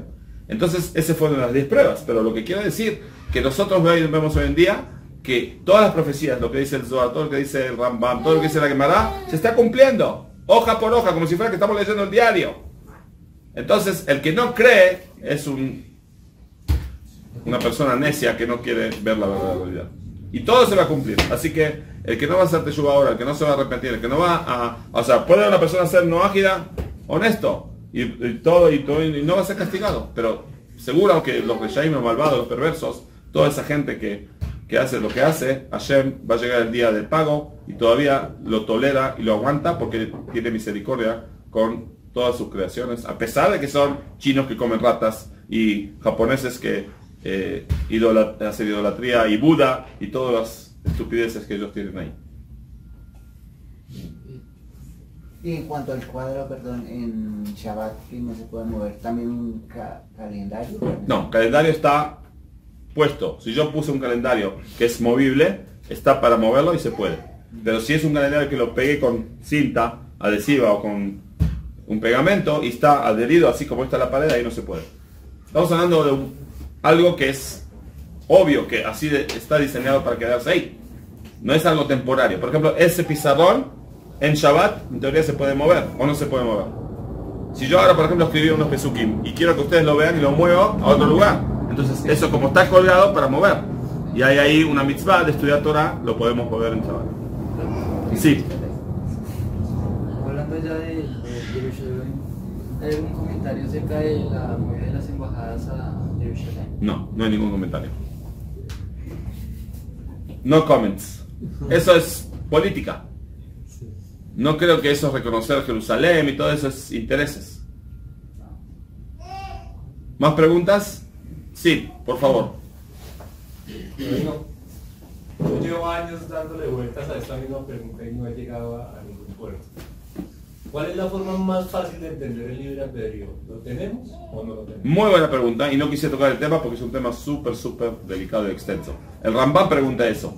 Si Dios sabe el futuro, y ese es el ejemplo que dije de antes, que si Dios escribe en la Biblia que vas a pecar después de que entras a Israel y te voy a exiliar y te voy a llevar en barcos a una tierra, que en este caso eran los romanos, y dice la Torah el símbolo del águila. ¿Y cuál era el símbolo de los romanos? El águila. Ya la Torah sabía dos mil años antes que va a venir. Entonces no tenemos libre de Dios de no pecar. Ahora, para responder eso, tengo una respuesta portátil, no una respuesta así instantánea, pero no sé si responde en todos los, eh, digamos, aspectos de lo que es el libre albedrío. Porque el libre albedrío es algo muy profundo. Porque Dios nos manipula. O sea, Dios, por ejemplo, tengo un coche que tiene X poder, lo que se llama horsepower, de caballo. Ahora, mi amigo tiene un coche súper potente que acelera de 0 a 150 en 5 segundos. Y el mío no. Entonces, si hacemos una carrera, ¿quién va a llegar primero? El que tiene un motor más potente. Entonces no tengo libre albedrío de ganar la carrera. ¿Entendieron lo que quiero decir? Es relativo al libre albedrío. Ahora, ¿cuál es el ejemplo para responder eso? Hay un helicóptero arriba que vigila el tráfico. Viene un coche de este lado de esta vía viene otro de otra carrera. Ahora, si los dos están a la misma velocidad, se van a chocar porque es inminente que a esa velocidad ahí va a ser el cruce. Y no como las películas que justo pasó y... Ahora, si uno va a acelerar más que el otro o va a frenar, ahí no va a haber choque. Entonces, el que está arriba del helicóptero, que es Hashem, ve de arriba que es inminente. Hashem sabe que estos dos vehículos que vienen cada uno de otro lado van a chocar. Porque él está arriba. Pero eso no quiere decir que eso le quita que el último momento frene o acelere y ahí se salve de la- del accidente. Eso más o menos una respuesta, eh, por decir, eh, express. A ver, atrás, otra pregunta ahí. Una pregunta. Digamos, antiguamente los bombillos venían de filamento. ¿Los bombillos? Los bombillos. ¿Estás hablando de la luz de Thomas Alva Edison? eh, llegaban y tenían ese problema que era cuando el filamento se, carbonizaba Sí. y se reventaba. Claro, ok. Ahorita que son de gases nobles y no tienen el filamento. ¿Tú eres ele- electricista? No. Bueno, suena. digamos ahí, ¿se puede prender y apagar esos bombillos? Digamos, No se puede prender ni apagar por el simple motivo de NOLAD. O sea, hoy en día el gobierno americano y todos los gobiernos en todo el mundo eh, vieron que LED, LED es la nueva técnica de las lámparas nuevas, no sé si esto es LED, creo que sí, ¿no? Entonces eso nunca causa cortocircuito de incendios. Entonces ellos están tratando de vender cuanto más que la gente tenga al alcance y están subsidiando y están incentivando que también menos energía, menos electricidad. Ahora, en Shabbat había una discusión. El bombillo que está hablando eh, eh, hace 100 años el señor Alba Edison que él inventó era fuego. Y había un rabino que cuando eso fue inventado, los, los rabinos discutían si se puede o no se puede en Shabbat prender. O en Yom Tov, así como en Yom Tov podemos agarrar una vela y prender otras 10 velas. Entonces también en Yom Tov se puede prender la electricidad, la luz, porque es pasar una vela a otra. Ese fue el argumento. ¿Y qué dijo ese rabino? Es fuego absoluto porque mata, porque cortocircuito. ¿Y qué hacía el Abdalá? En vez de agarrar fósforos, agarraba, prendía la luz y decía, Boreme Oresh. Ahora, el LED no es fuego. Ahora, ¿cuál es la previsión? No la, no la quiere decir cambiar de un estatus a otro. Es algo nuevo, así como no se puede agarrar, según la opinión estricta, jabón sólido y usarlo en Shabbat porque estás convirtiéndolo, estás diluyéndolo, estás creando burbujas, estás haciendo algo, una sustancia que no existía. Eso es Nolad, recién nació, recién vino la existencia del mundo. Es algo nuevo. Así también, según una opinión más estricta, no se puede hacer hielo en Shabbat para uso en Shabbat. Pero según mi rabino Rabbi Yosef y otros rabinos, se puede hacer hielo en Shabbat. Porque el hielo se diluye solo. Entonces no es algo permanente. Tiene que ser una construcción permanente. ¿Ok? Algunos dicen, por ejemplo, cuando ven un cumpleaños, hacen una torta con el nombre del chico o el nombre de la pareja ¿Se puede cortar esa torta en Shabbat o no? Según Rabbi del Sefi muchos poskim se puede, no se llama borrar. Porque la torta está diseñada para comer. No está hecha para que quede ahí, no es un anuncio. Algunos dicen, no, no puedes hacerlo, entonces que dice cortarlo alrededor. Entonces nuevamente, no sé si contesté tu pregunta, pero es el mismo concepto, el mismo tema que estamos tratando de la inactividad, todo lo que es freeze, todo lo que es congelación, el estatus. Lo que Hashem hizo seis días que nosotros nos identificamos con él, creó el mundo. Séptimo día descansó. ¿Acaso necesita descansar? ¿Que es un ser humano que se cansó? ¿Que está ahora de vacaciones? No. Es algo simbólico que nosotros emulamos su actitud y frenamos y congelamos. No hay celular. Hoy en día, la gente a veces tiene dos celulares y no tiene descanso. Entonces la gente se vuelve loca. Hoy en día Shabbat viene y no hay celular y la gente descansa. Porque si no la gente no. Imagínense una persona que tiene 10 negocios y se va de vacaciones y el empleado lo llama, hubo un robo. El empleado lo llama, no, a esta persona eh, eh, hay un incendio. Entonces no tiene vacaciones. Entonces quiere decir que le perturba la mente el solo hecho que él tiene la información a mano. Entonces eso es el propósito del Shabbat. No estar informado. Cuanto menos sabe la persona, más feliz va a ser.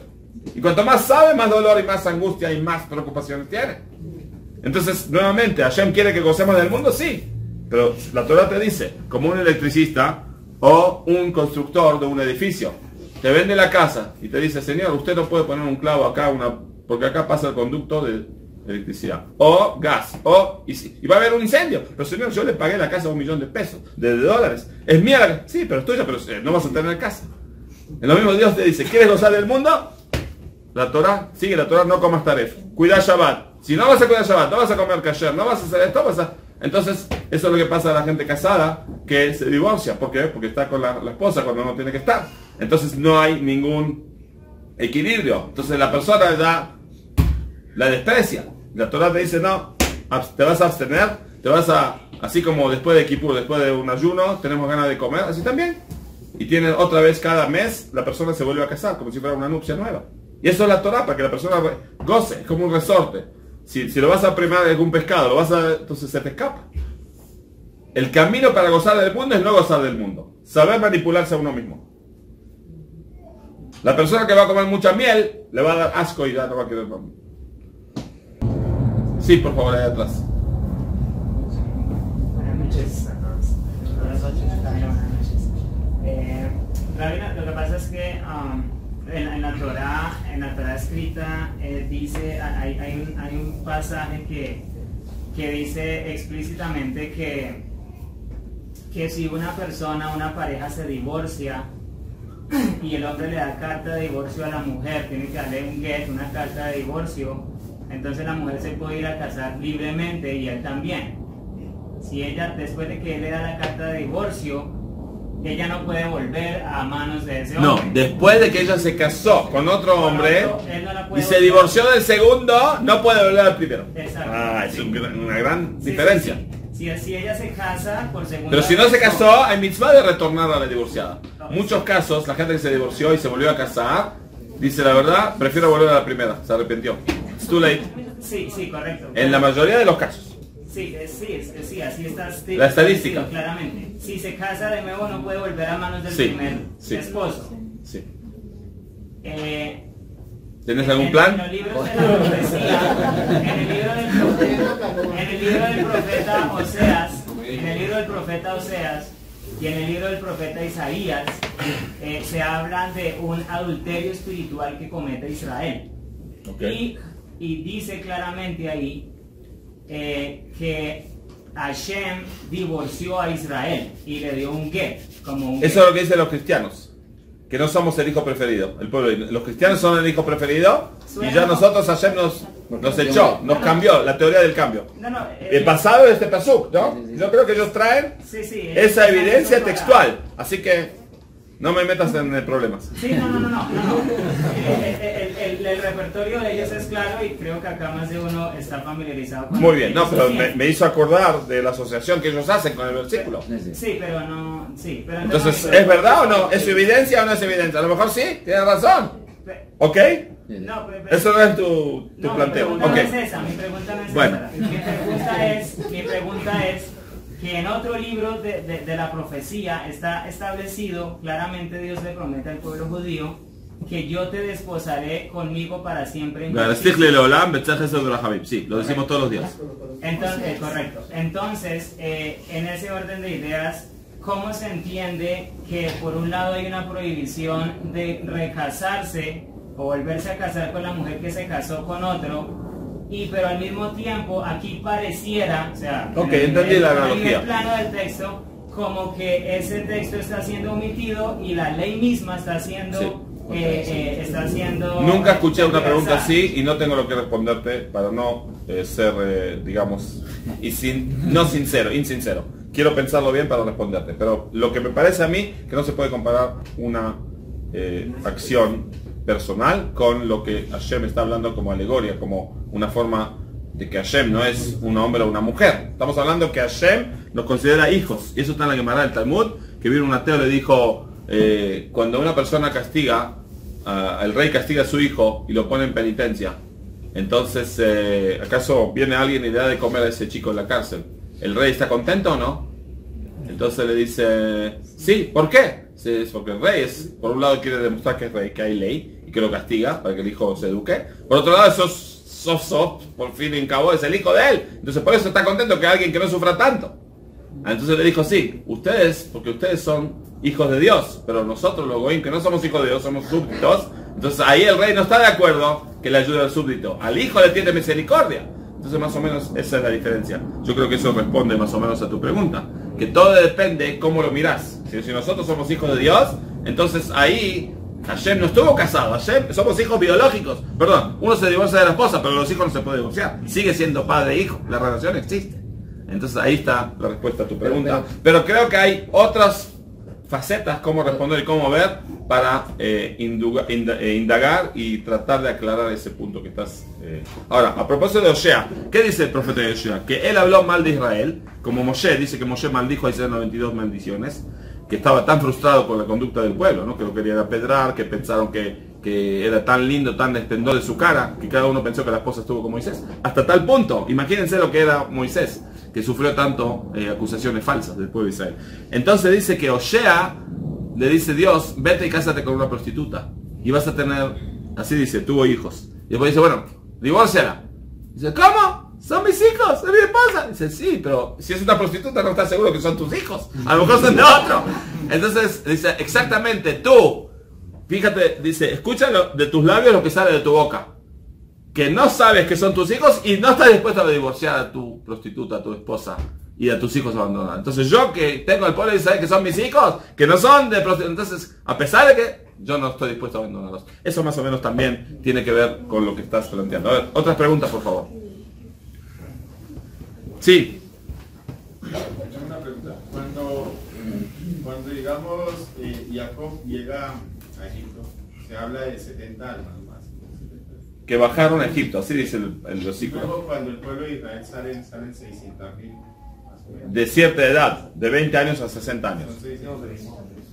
Y había 80% que murieron en las tres días de la plaga de la oscuridad.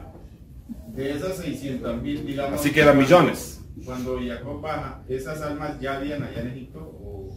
Cuando Jacob baja, estaba en toda la esencia. O sea, es como el tatara, tatara, abuelo hace mil años. Y en- dentro de ese abuelo estaban todos los miles de personas que nacieron durante mil años. Entonces eran, ¿cómo? Nacían a veces seis. Sí, que nacían seis de un saque, de un embarazo, un parto, que era algo sobrenatural. Entonces, eh, nuevamente, las 70 almas que bajaron la entrada de Egipto salieron de eso tantas millones de almas en la salida de Egipto.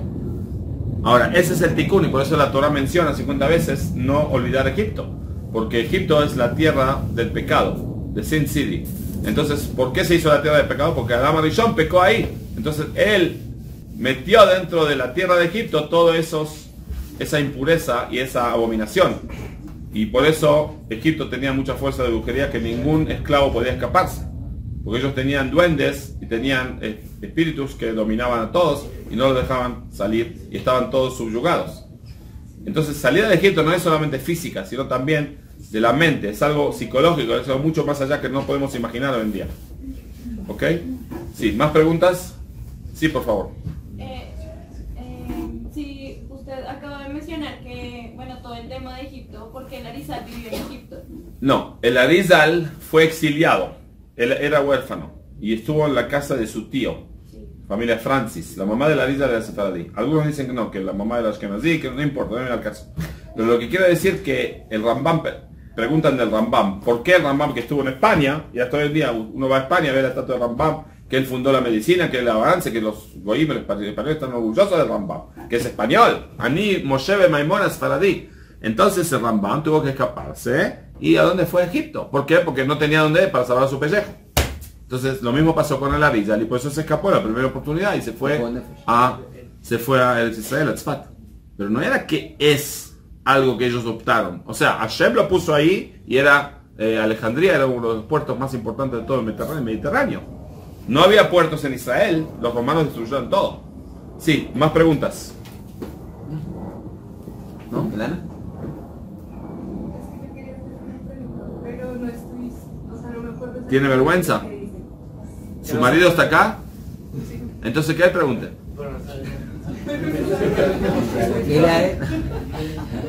La vergüenza es una señal muy buena para una mujer judía. Es que en el libro de Cora, de... sí, ¿no? Cora tenía mucho coraje, no tenía vergüenza. Dice que, eh, pues cuando el pueblo judío estaba llegando a Israel, que ellos volvieron, que fueron los que hablaron mal de la tierra de Israel. Y ellos querían parecer, o sea, ellos querían, ¿cómo le digo? Que no sé ni cómo decir. Eh, o sea, ellos querían decir que Aarón no era, o sea, ellos querían parecer igual a Aarón, que quisieron hacer un, un holocausto, ¿cierto? No, nunca escuché esa teoría. No sé. Quién le dio ese libro o de dónde lo escuchó, pero yo nunca... ¿Tú escuchaste esa teoría? No, perdón. Eso a lo mejor... Lo que pasa es que ustedes vienen de todo tipo de lugares con todo tipo de información o clases que en las universidades o en los institutos de Kabbalah, de la Biblia, no sé, películas como Hollywood, ¿no?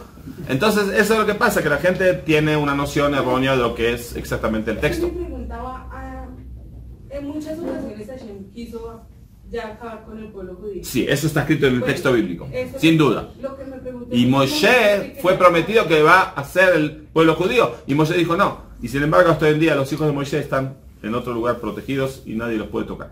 Sí, Moshe muchas veces intervino entre... ¿Por qué? Porque es Raya Memna, es el pastor fiel. Pero mi pregunta es, en ese momento no éramos el pueblo elegido ayer, no éramos... Éramos. ¿Por qué no? Éramos el pueblo elegido que dijo Nacer Nishma y sin embargo Hashem tuvo que agarrar la montaña del Sinai y la iba a obligar a los judíos, si no los iba a enterrar ahí. Y por eso dice que cuando recibieron la Torah voluntariamente, cuando estaba Amán y quería destruir al pueblo judío, y ahí fue que lo que se no se logró 48 eh, profetas y profetizas, que el pueblo judío aceptara la Torah y no se rebele contra Dios, se logró con quitar el anillo de Ahasuerus a Amán que haga lo que quiera. Y en ese momento, dice, en ese momento los, los judíos aceptaron la Torah que ya recibieron 1500 años antes y la aceptaron voluntariamente. ¿Ok? Ahora, son cosas que no es algo que podemos entender. ¿Qué decir? ¿Aceptó o no aceptó? Estamos hablando a nivel muy profundo o a nivel de millones de personas. Porque cada uno acá le va a preguntar, sí, yo soy judío, yo acepté. yo-". Pero estamos hablando de un proceso, ¿no? Que no es así nomás que una persona tiene clientes o tiene un hijo o tiene un hijo bueno, un hijo malo, un hijo que no, no le obedece. Entonces ese hijo rebelde le cuesta al papá hasta que lo educa y hasta que lo acostumbra que acepte. Así también, somos hijos, pero a pesar de eso hay hijos rebeldes y éramos hijos rebeldes. Sí. Raúl, una pregunta. ¿Por qué, ahorita que mencionaste eh, Abraham Avinu, por qué él les, eh, les da como regalos a los hijos de Ketura artes impuras? Para que se vayan.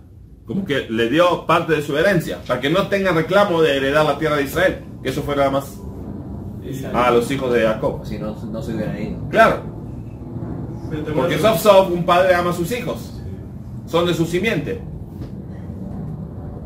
Pero siendo de su simiente, eso de darle la brujería y la hechicería, no, no va como con- no contradice el tema que son su simiente, siendo que igual Bueno, el texto del Rashi, y lo puedes leer en el Rashi en español, así dice. Ahora, es una pregunta, y como dije recién de antes sobre la pregunta que le dije que no tengo respuesta y que tengo que analizar, no me gusta barrer bajo de la alfombra. Es algo interesante, porque lo hizo a pesar de que está prohibida la brujería.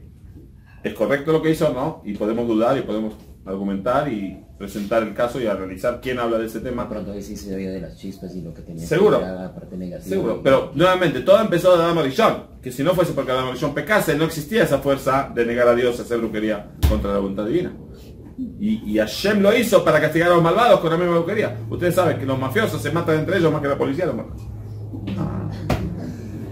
Ahí hay otra pregunta de, entonces, Ketura, porque hay quienes dicen que Ketura Era Agar, el Agar, Mahloket. pero ya un poco más elevada. Hizo Teshuvah, volvió. Hizo Teshuvah, y e hizo conversiones o En teoría sí, pero no existía el judaísmo como sí. Ahora, uno me dijo también que Abraham, dice Rashid, convertía. Entonces, ¿dónde está toda esa gente que convirtió? ¿Por qué Hashem dijo que de tu simiente vas a salir pueblo de Israel? ¿Y qué pasó con los conversos? Como que se perdieron. Ok, ¿más preguntas? Si no se quieren levantar, nos quedamos aquí. Sí, por favor. Buenas noches, Rabbi. ¿En dónde está en la Torah o que la, la conversión de Abraham y Sara? No, no dice exactamente lo que dije, no existía la Torah y la primera conversión fue en el monte Sinai, así dicen los poskim, que ayer me dijo que tienen que lavarse, Bejipsusim Lotan, tienen que lavar sus prendas y lavar su cuerpo, y ahí fue como bautizados, recibieron, aceptaron en, en masa la Torah. Ahora, antes de eso no existía pueblo judío, no existía lo que se llama la conversión, pero sí, los patriarcas cumplieron toda la Torah. Espiritualmente ya percibieron, consiguieron entender lo profundo que es cada mitzvah. Aceptar la unicidad de Sí, y dice que Abraham Avinu tenía 400 tomos de la Masacre Tabulazara, del tra- tratado de idolatría. Porque había 400 tomos. Había todo tipo de idolatrías, así como hoy en día dicen que el dólar dice in God we trust. Confiamos en Dios. Algunos dicen no, es nuestro ídolo el dólar. Es una idolatría. La gente mata por el dólar. Por el- Todo lo que la persona lo hace demasiado sagrado, lo pone hincapié, lo pone énfasis, ahí es cuando pierde el rumbo. Sí. Eh, según el conocimiento, la tradición judía, ¿qué concepción tienen de Melquisedec? Malkitzedek. Malkitzedek era un rey, que era el rey de Jerusalén, y era descendiente de Shem, de los hijos de Noé, que Jacob vino fue a estudiar a la yeshiva de Shem y Eber, estudió Torah.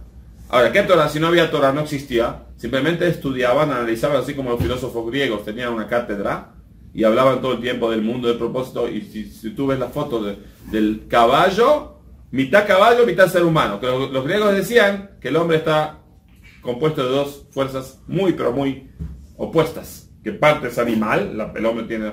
Y por eso nosotros los judíos usamos eh, un cinturón aquí para separar la parte sagrada de la parte inferior, que ahí está todo lo que es impuro. Entonces dicen que los árabes se ponen negarte de acá, porque todo lo demás... lo- y lo- bueno, pero lo que quiero decir, lo que quiero decir que Malquitzedek era un rey justo. Sí, a ver, por acá estaba la mujer acá de este lado, sí.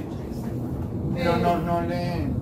Porque No era parte del pueblo judío, no. Pero es que ahí la escritura dice que él no tenía origen de día ni fin de días. O sea, que no, no tenía principio ni... ¿Principio de qué? O sea, que, que no se conocen lo- los días de su nacimiento. No, no se conoce. No. A ver, por favor, señora. Eh, disculpe, es, eh, Rabino, eh, usted dijo ahorita que, que una persona que no es judía no puede guardar Shabbat. Tiene que violar Shabbat sí o sí, porque si no es pe- pena de muerte. No puede parar de trabajar. Tiene que trabajar, como dice el Pasuk, Yom Balal. Siete días a la semana. Y los accidentes ocurren generalmente en el fin de semana, porque violan ese versículo. Así me dijo un El domingo hay que hacer un, digo, yo, El hay Shabbat que hacer hay que un hacer- poquito, ¿no? sí, también, no un se puede descansar. trabajo, un poquito de trabajo. O algo hay que trabajar. Ah, porque yo dije, bueno, y si ellos quieren llegar al judaísmo, entonces como... Pueden, pueden y tienen que convertirse, pero hasta la conversión y por lo menos hasta que el hombre no se circuncide, en el caso de una mujer, hasta que no entró a la micro, tiene que violar Shabbat. Prender un fósforo. Sí, por favor. Sí. Eh, Rabino, ¿los 13 principios de fe tienen relación con los 13 principios de misericordia? No, son distintos. O sea, estamos hablando de Alajá, del fundamento del judaísmo. Y, y lo que es Kabbalah, lo que dije antes, que la Kabbalah pone énfasis en mundos o en eh, facetas del judaísmo que no vemos, que no son tangibles. Es mundos paralelos. Pero como dije antes, si un judío no tiene barba, es judío. Y la Kabbalah dice que sin barba estás violando y eh, si te cortas la barba estás cortando los canales de conducto de la bendición. Pero eso no es un pecado. Ahora, hay gente que tiene peot, ¿no? El Berishai no tiene peot. La foto de Berishai, los rabinos sefaradí, los temanim sí, los ashkenazim sí. Nuevamente, son temas de Kabbalah. Pero no es alajá, no es algo que es obligación. Sí, ¿más preguntas? Sí, por favor. Eh, ¿podrías contarnos, en la Torah no nos habla sobre qué fue de los hijos de Moshe? Muy buena pregunta. ¿Por qué Moisés no tuvo el mérito que sus hijos sean la continuación de él? Y Yoshua fue aquel. Yo creo que eso se llama nepotismo. Nepotismo quiere decir que un juez pone a su hijo que sea juez. O un policía, un- así. Entonces Moisés, la Torá te dice que el abuelo de eh, el yerno, que era Itro, era idólatra. Era un converso que antes era, eh, por decir, un sacerdote muy importante. Y por ser que él le dio a su hija, que según el Arizal, Cain y Ebel. Cain mató a Ebel. Moisés era la reencarnación de Hebel y Itro era la reencarnación de Cain. Entonces, ¿por qué Cain mató a Ebel? Porque Cain tenía una sola mujer, una sola hermana gemela que nació con él. Y Hebel tenía dos gemelas y le tenía envidia. Entonces, cuando vino a reencarnar, le devolvió Tzipor a su hija para re- recompensarlo porque el motivo que lo mató eh, en la reencarnación previa. Entonces, ese fue el tikkun de Cain, de Itro. A propósito, en Londres hay un aeropuerto que se llama Heathrow Airport. Yo creo que es el nombre de Heathrow. Entonces, volviendo al tema de lo que estamos hablando, que cuando... eh, ¿Cuál fue tu pregunta? A ver, otra vez. ¿Qué pasó con los hijos de Moisés? ¿Qué pasó con los hijos de Moisés? Entonces, dice el Midrash que Gershom, el hijo de Moisés, tenía un hijo se llama Jonatán. Y ese Jonatán era sacerdote de la idolatría del pez el Mijá. Mijá era uno de los chicos que cuando Moisés salió a ver a sus hermanos que estaban en labor forzada, paró, agarraba bebés y los ponía de miladrillos. Entonces agarró a un bebé, lo sacó y le dijo, Dios, por favor, un poquito de misericordia. Dice, no, yo sé exactamente con quién tener misericordia. Y así dice que le dio vida y ese era Mijá, que cuando Abisrael salía de Egipto y había los milagros más grandes, él tenía su, lo que se llama, su ídolo Buda portátil y negaba a Dios. ¿Y cuál fue el secreto? Dice la Gemara que él prevaleció, que él tenía una cocina, kitchen, public kitchen, tenía una cocina para todos los pobres y el que hace misericordia y favores con los hijos de Hashem, Hashem no deja que el atributo celestial de la justicia lo toque. Entonces por eso Moisés, para demostrar que la, la Torah no es herencia, y la Gemara pregunta esa pregunta, ¿por qué los hijos de los rabinos son como ellos? Dice la Gemara cuatro motivos. Uno, para demostrar que es como la más de la cosa nuestra, que no es hereditario la Torah, y cada uno puede venir. Y los conversos grandes, conversos como Shemai Bertalión y Rabbi Akiva, y grandes rabinos que eran hijos de conversos, para demostrar que de la nada, y Ruth, la mamá de la abuela de David Amelech. Entonces nuevamente, eh, lamentablemente muchos rabinos desprecian a los ignorantes o no les tienen paciencia. Entonces por eso Hashem no les da que sus hijos para que siga el legado de su familia que sean todos rabinos porque ahí se arma un poquito de orgullo, un poco de argentinismo. Sí, sí, sigue. Raf, dos preguntas. Eh, En Tratado de Berajot 33b nos dice que eh, el Kohen Gadol eh, en la Shmones Re debe inclinarse al final de cada verajá y que el rey de Israel debería inclinarse desde el principio hasta el final. Sí, Eso todo al costado. Hoy en día No se un practica. Un rey lo haría. No existe hoy en día. No, pero si hoy existiera... Había que hacerlo. Habría que hacerlo. Porque cuanto más elevada la persona, más humilde delante de Hashem tiene que ser. Ahora, había una yeshiva en Europa que el rabino no se sentaba como yo me estoy sentando cara a ustedes, sino se sentaban así como uno más, hablaba, hacía, para que no sea una transferencia, una interrupción entre la persona y, Hashem. Así hasta tal punto. Porque es muy fácil caer en ese error de ser argentino. Ok. Y unos, unos DAF antes de, de, de, porción de, de Berajot nos hablan que eh, el Hassan, eh, digamos, dependiendo si se equivoca, habría que corregirlo o habría que cambiarlo. Pero, por ejemplo, no debería repetir ciertas palabras como agradecer, agradecer. Eh, ¿En qué momento se le debería corregir o se puede corregir? Siempre se puede corregir al Hazán. Corresponde. Porque Aún si no el. Shmones- ¿Cómo? ¿Aún en No, no, no en las monedas. Estamos hablando si el Hazán se traga letras. o no dijo bien la letra, o como el, el Sefer Torah, lee la Torah y no leyó bien, todo el mundo levanta la voz, porque es parte del testimonio que la Torah es verídica. Y si no estamos diciendo que la Torah no es exactamente la que Hashem nos dio. Eso es parte del testimonio. Pero no, no Shema, no Shemon Israel, no. No, no. ¿Más preguntas? Rab, eh, sufrí una pregunta en Shabbat de que si el Sanedrín sabía Kabbalah y si el Sanedrín sabía Kabbalah porque no mencionó algo dentro de la Gemara diciendo, hey, la Kabbalah está preservada para Bueno. un tiempo, whatever.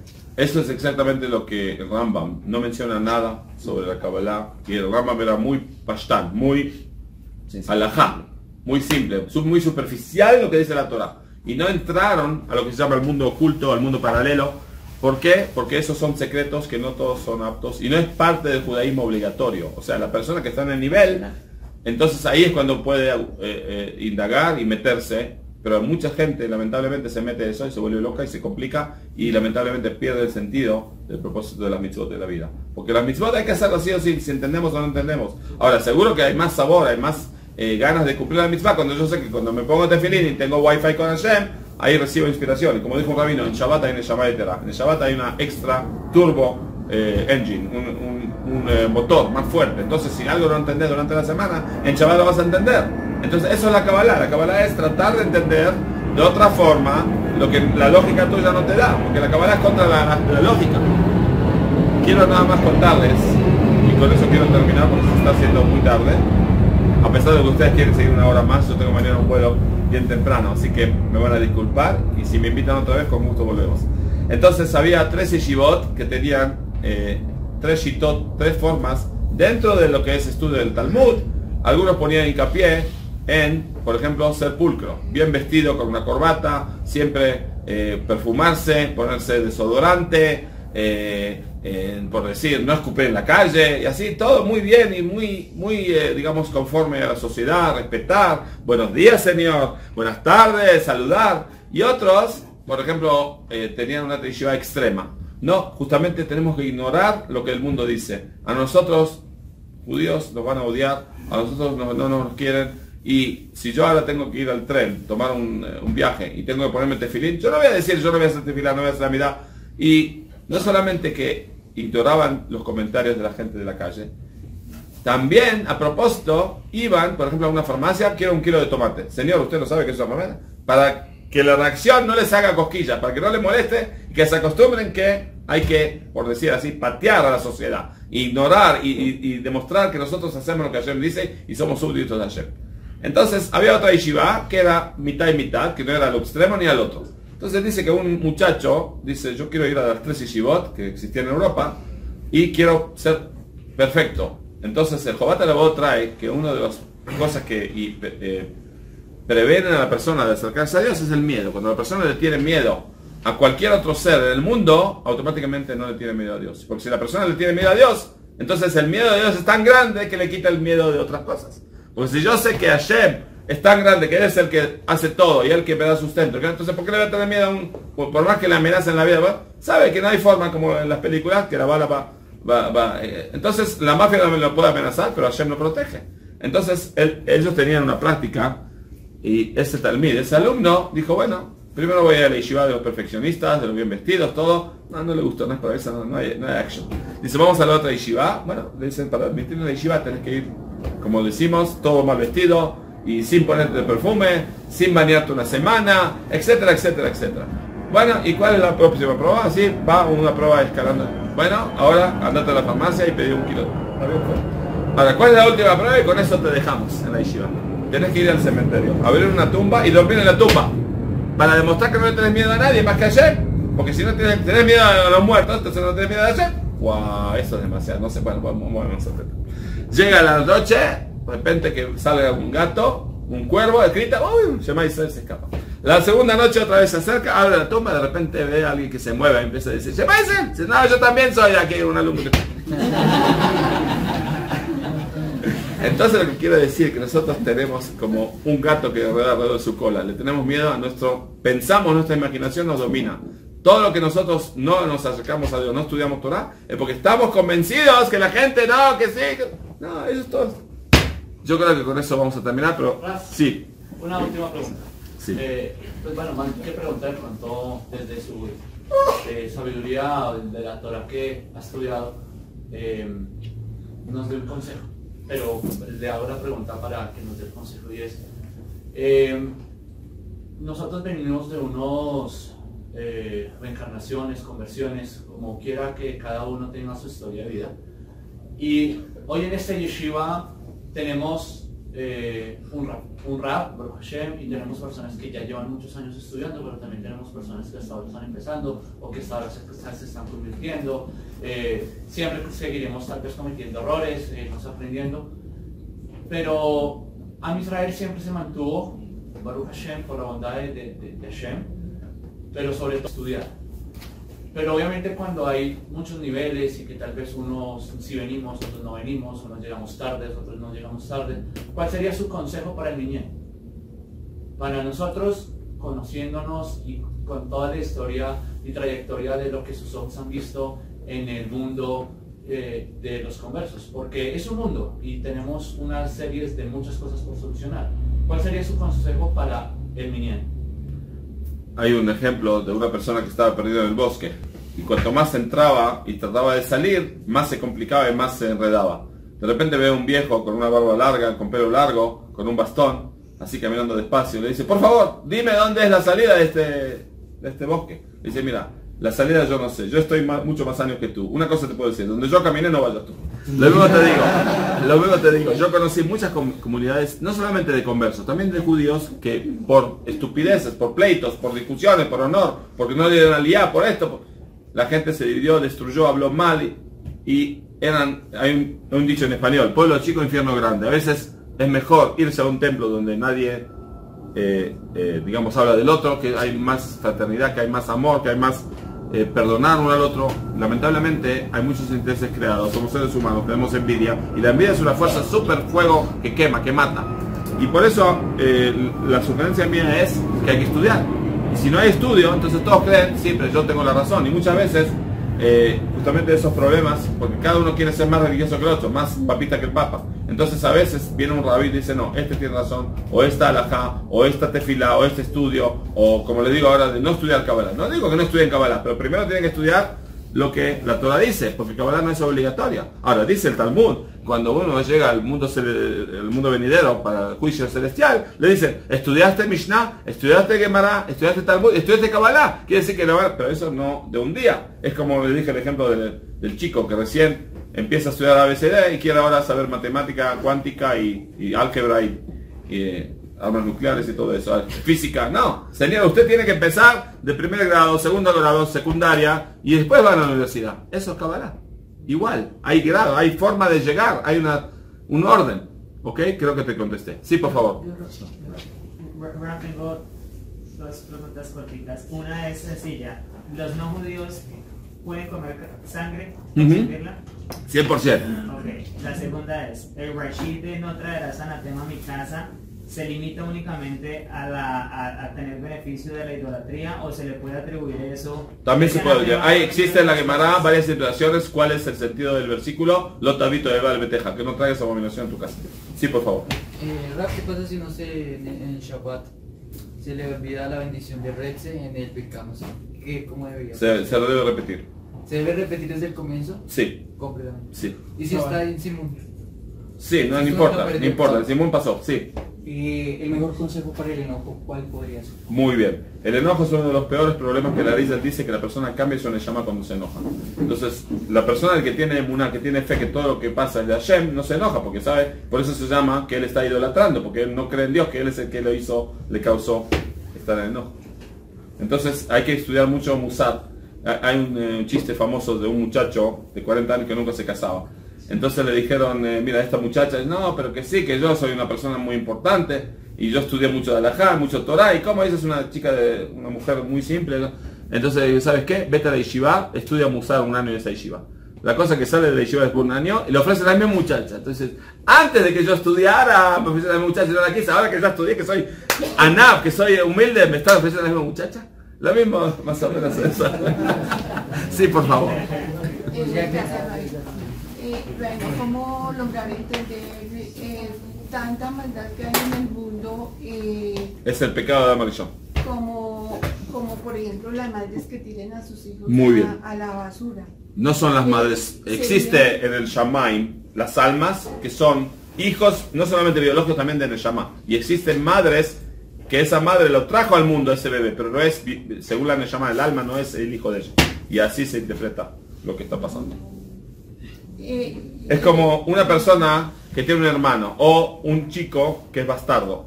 Entonces el chico bastardo mata al padre, porque no es su hijo.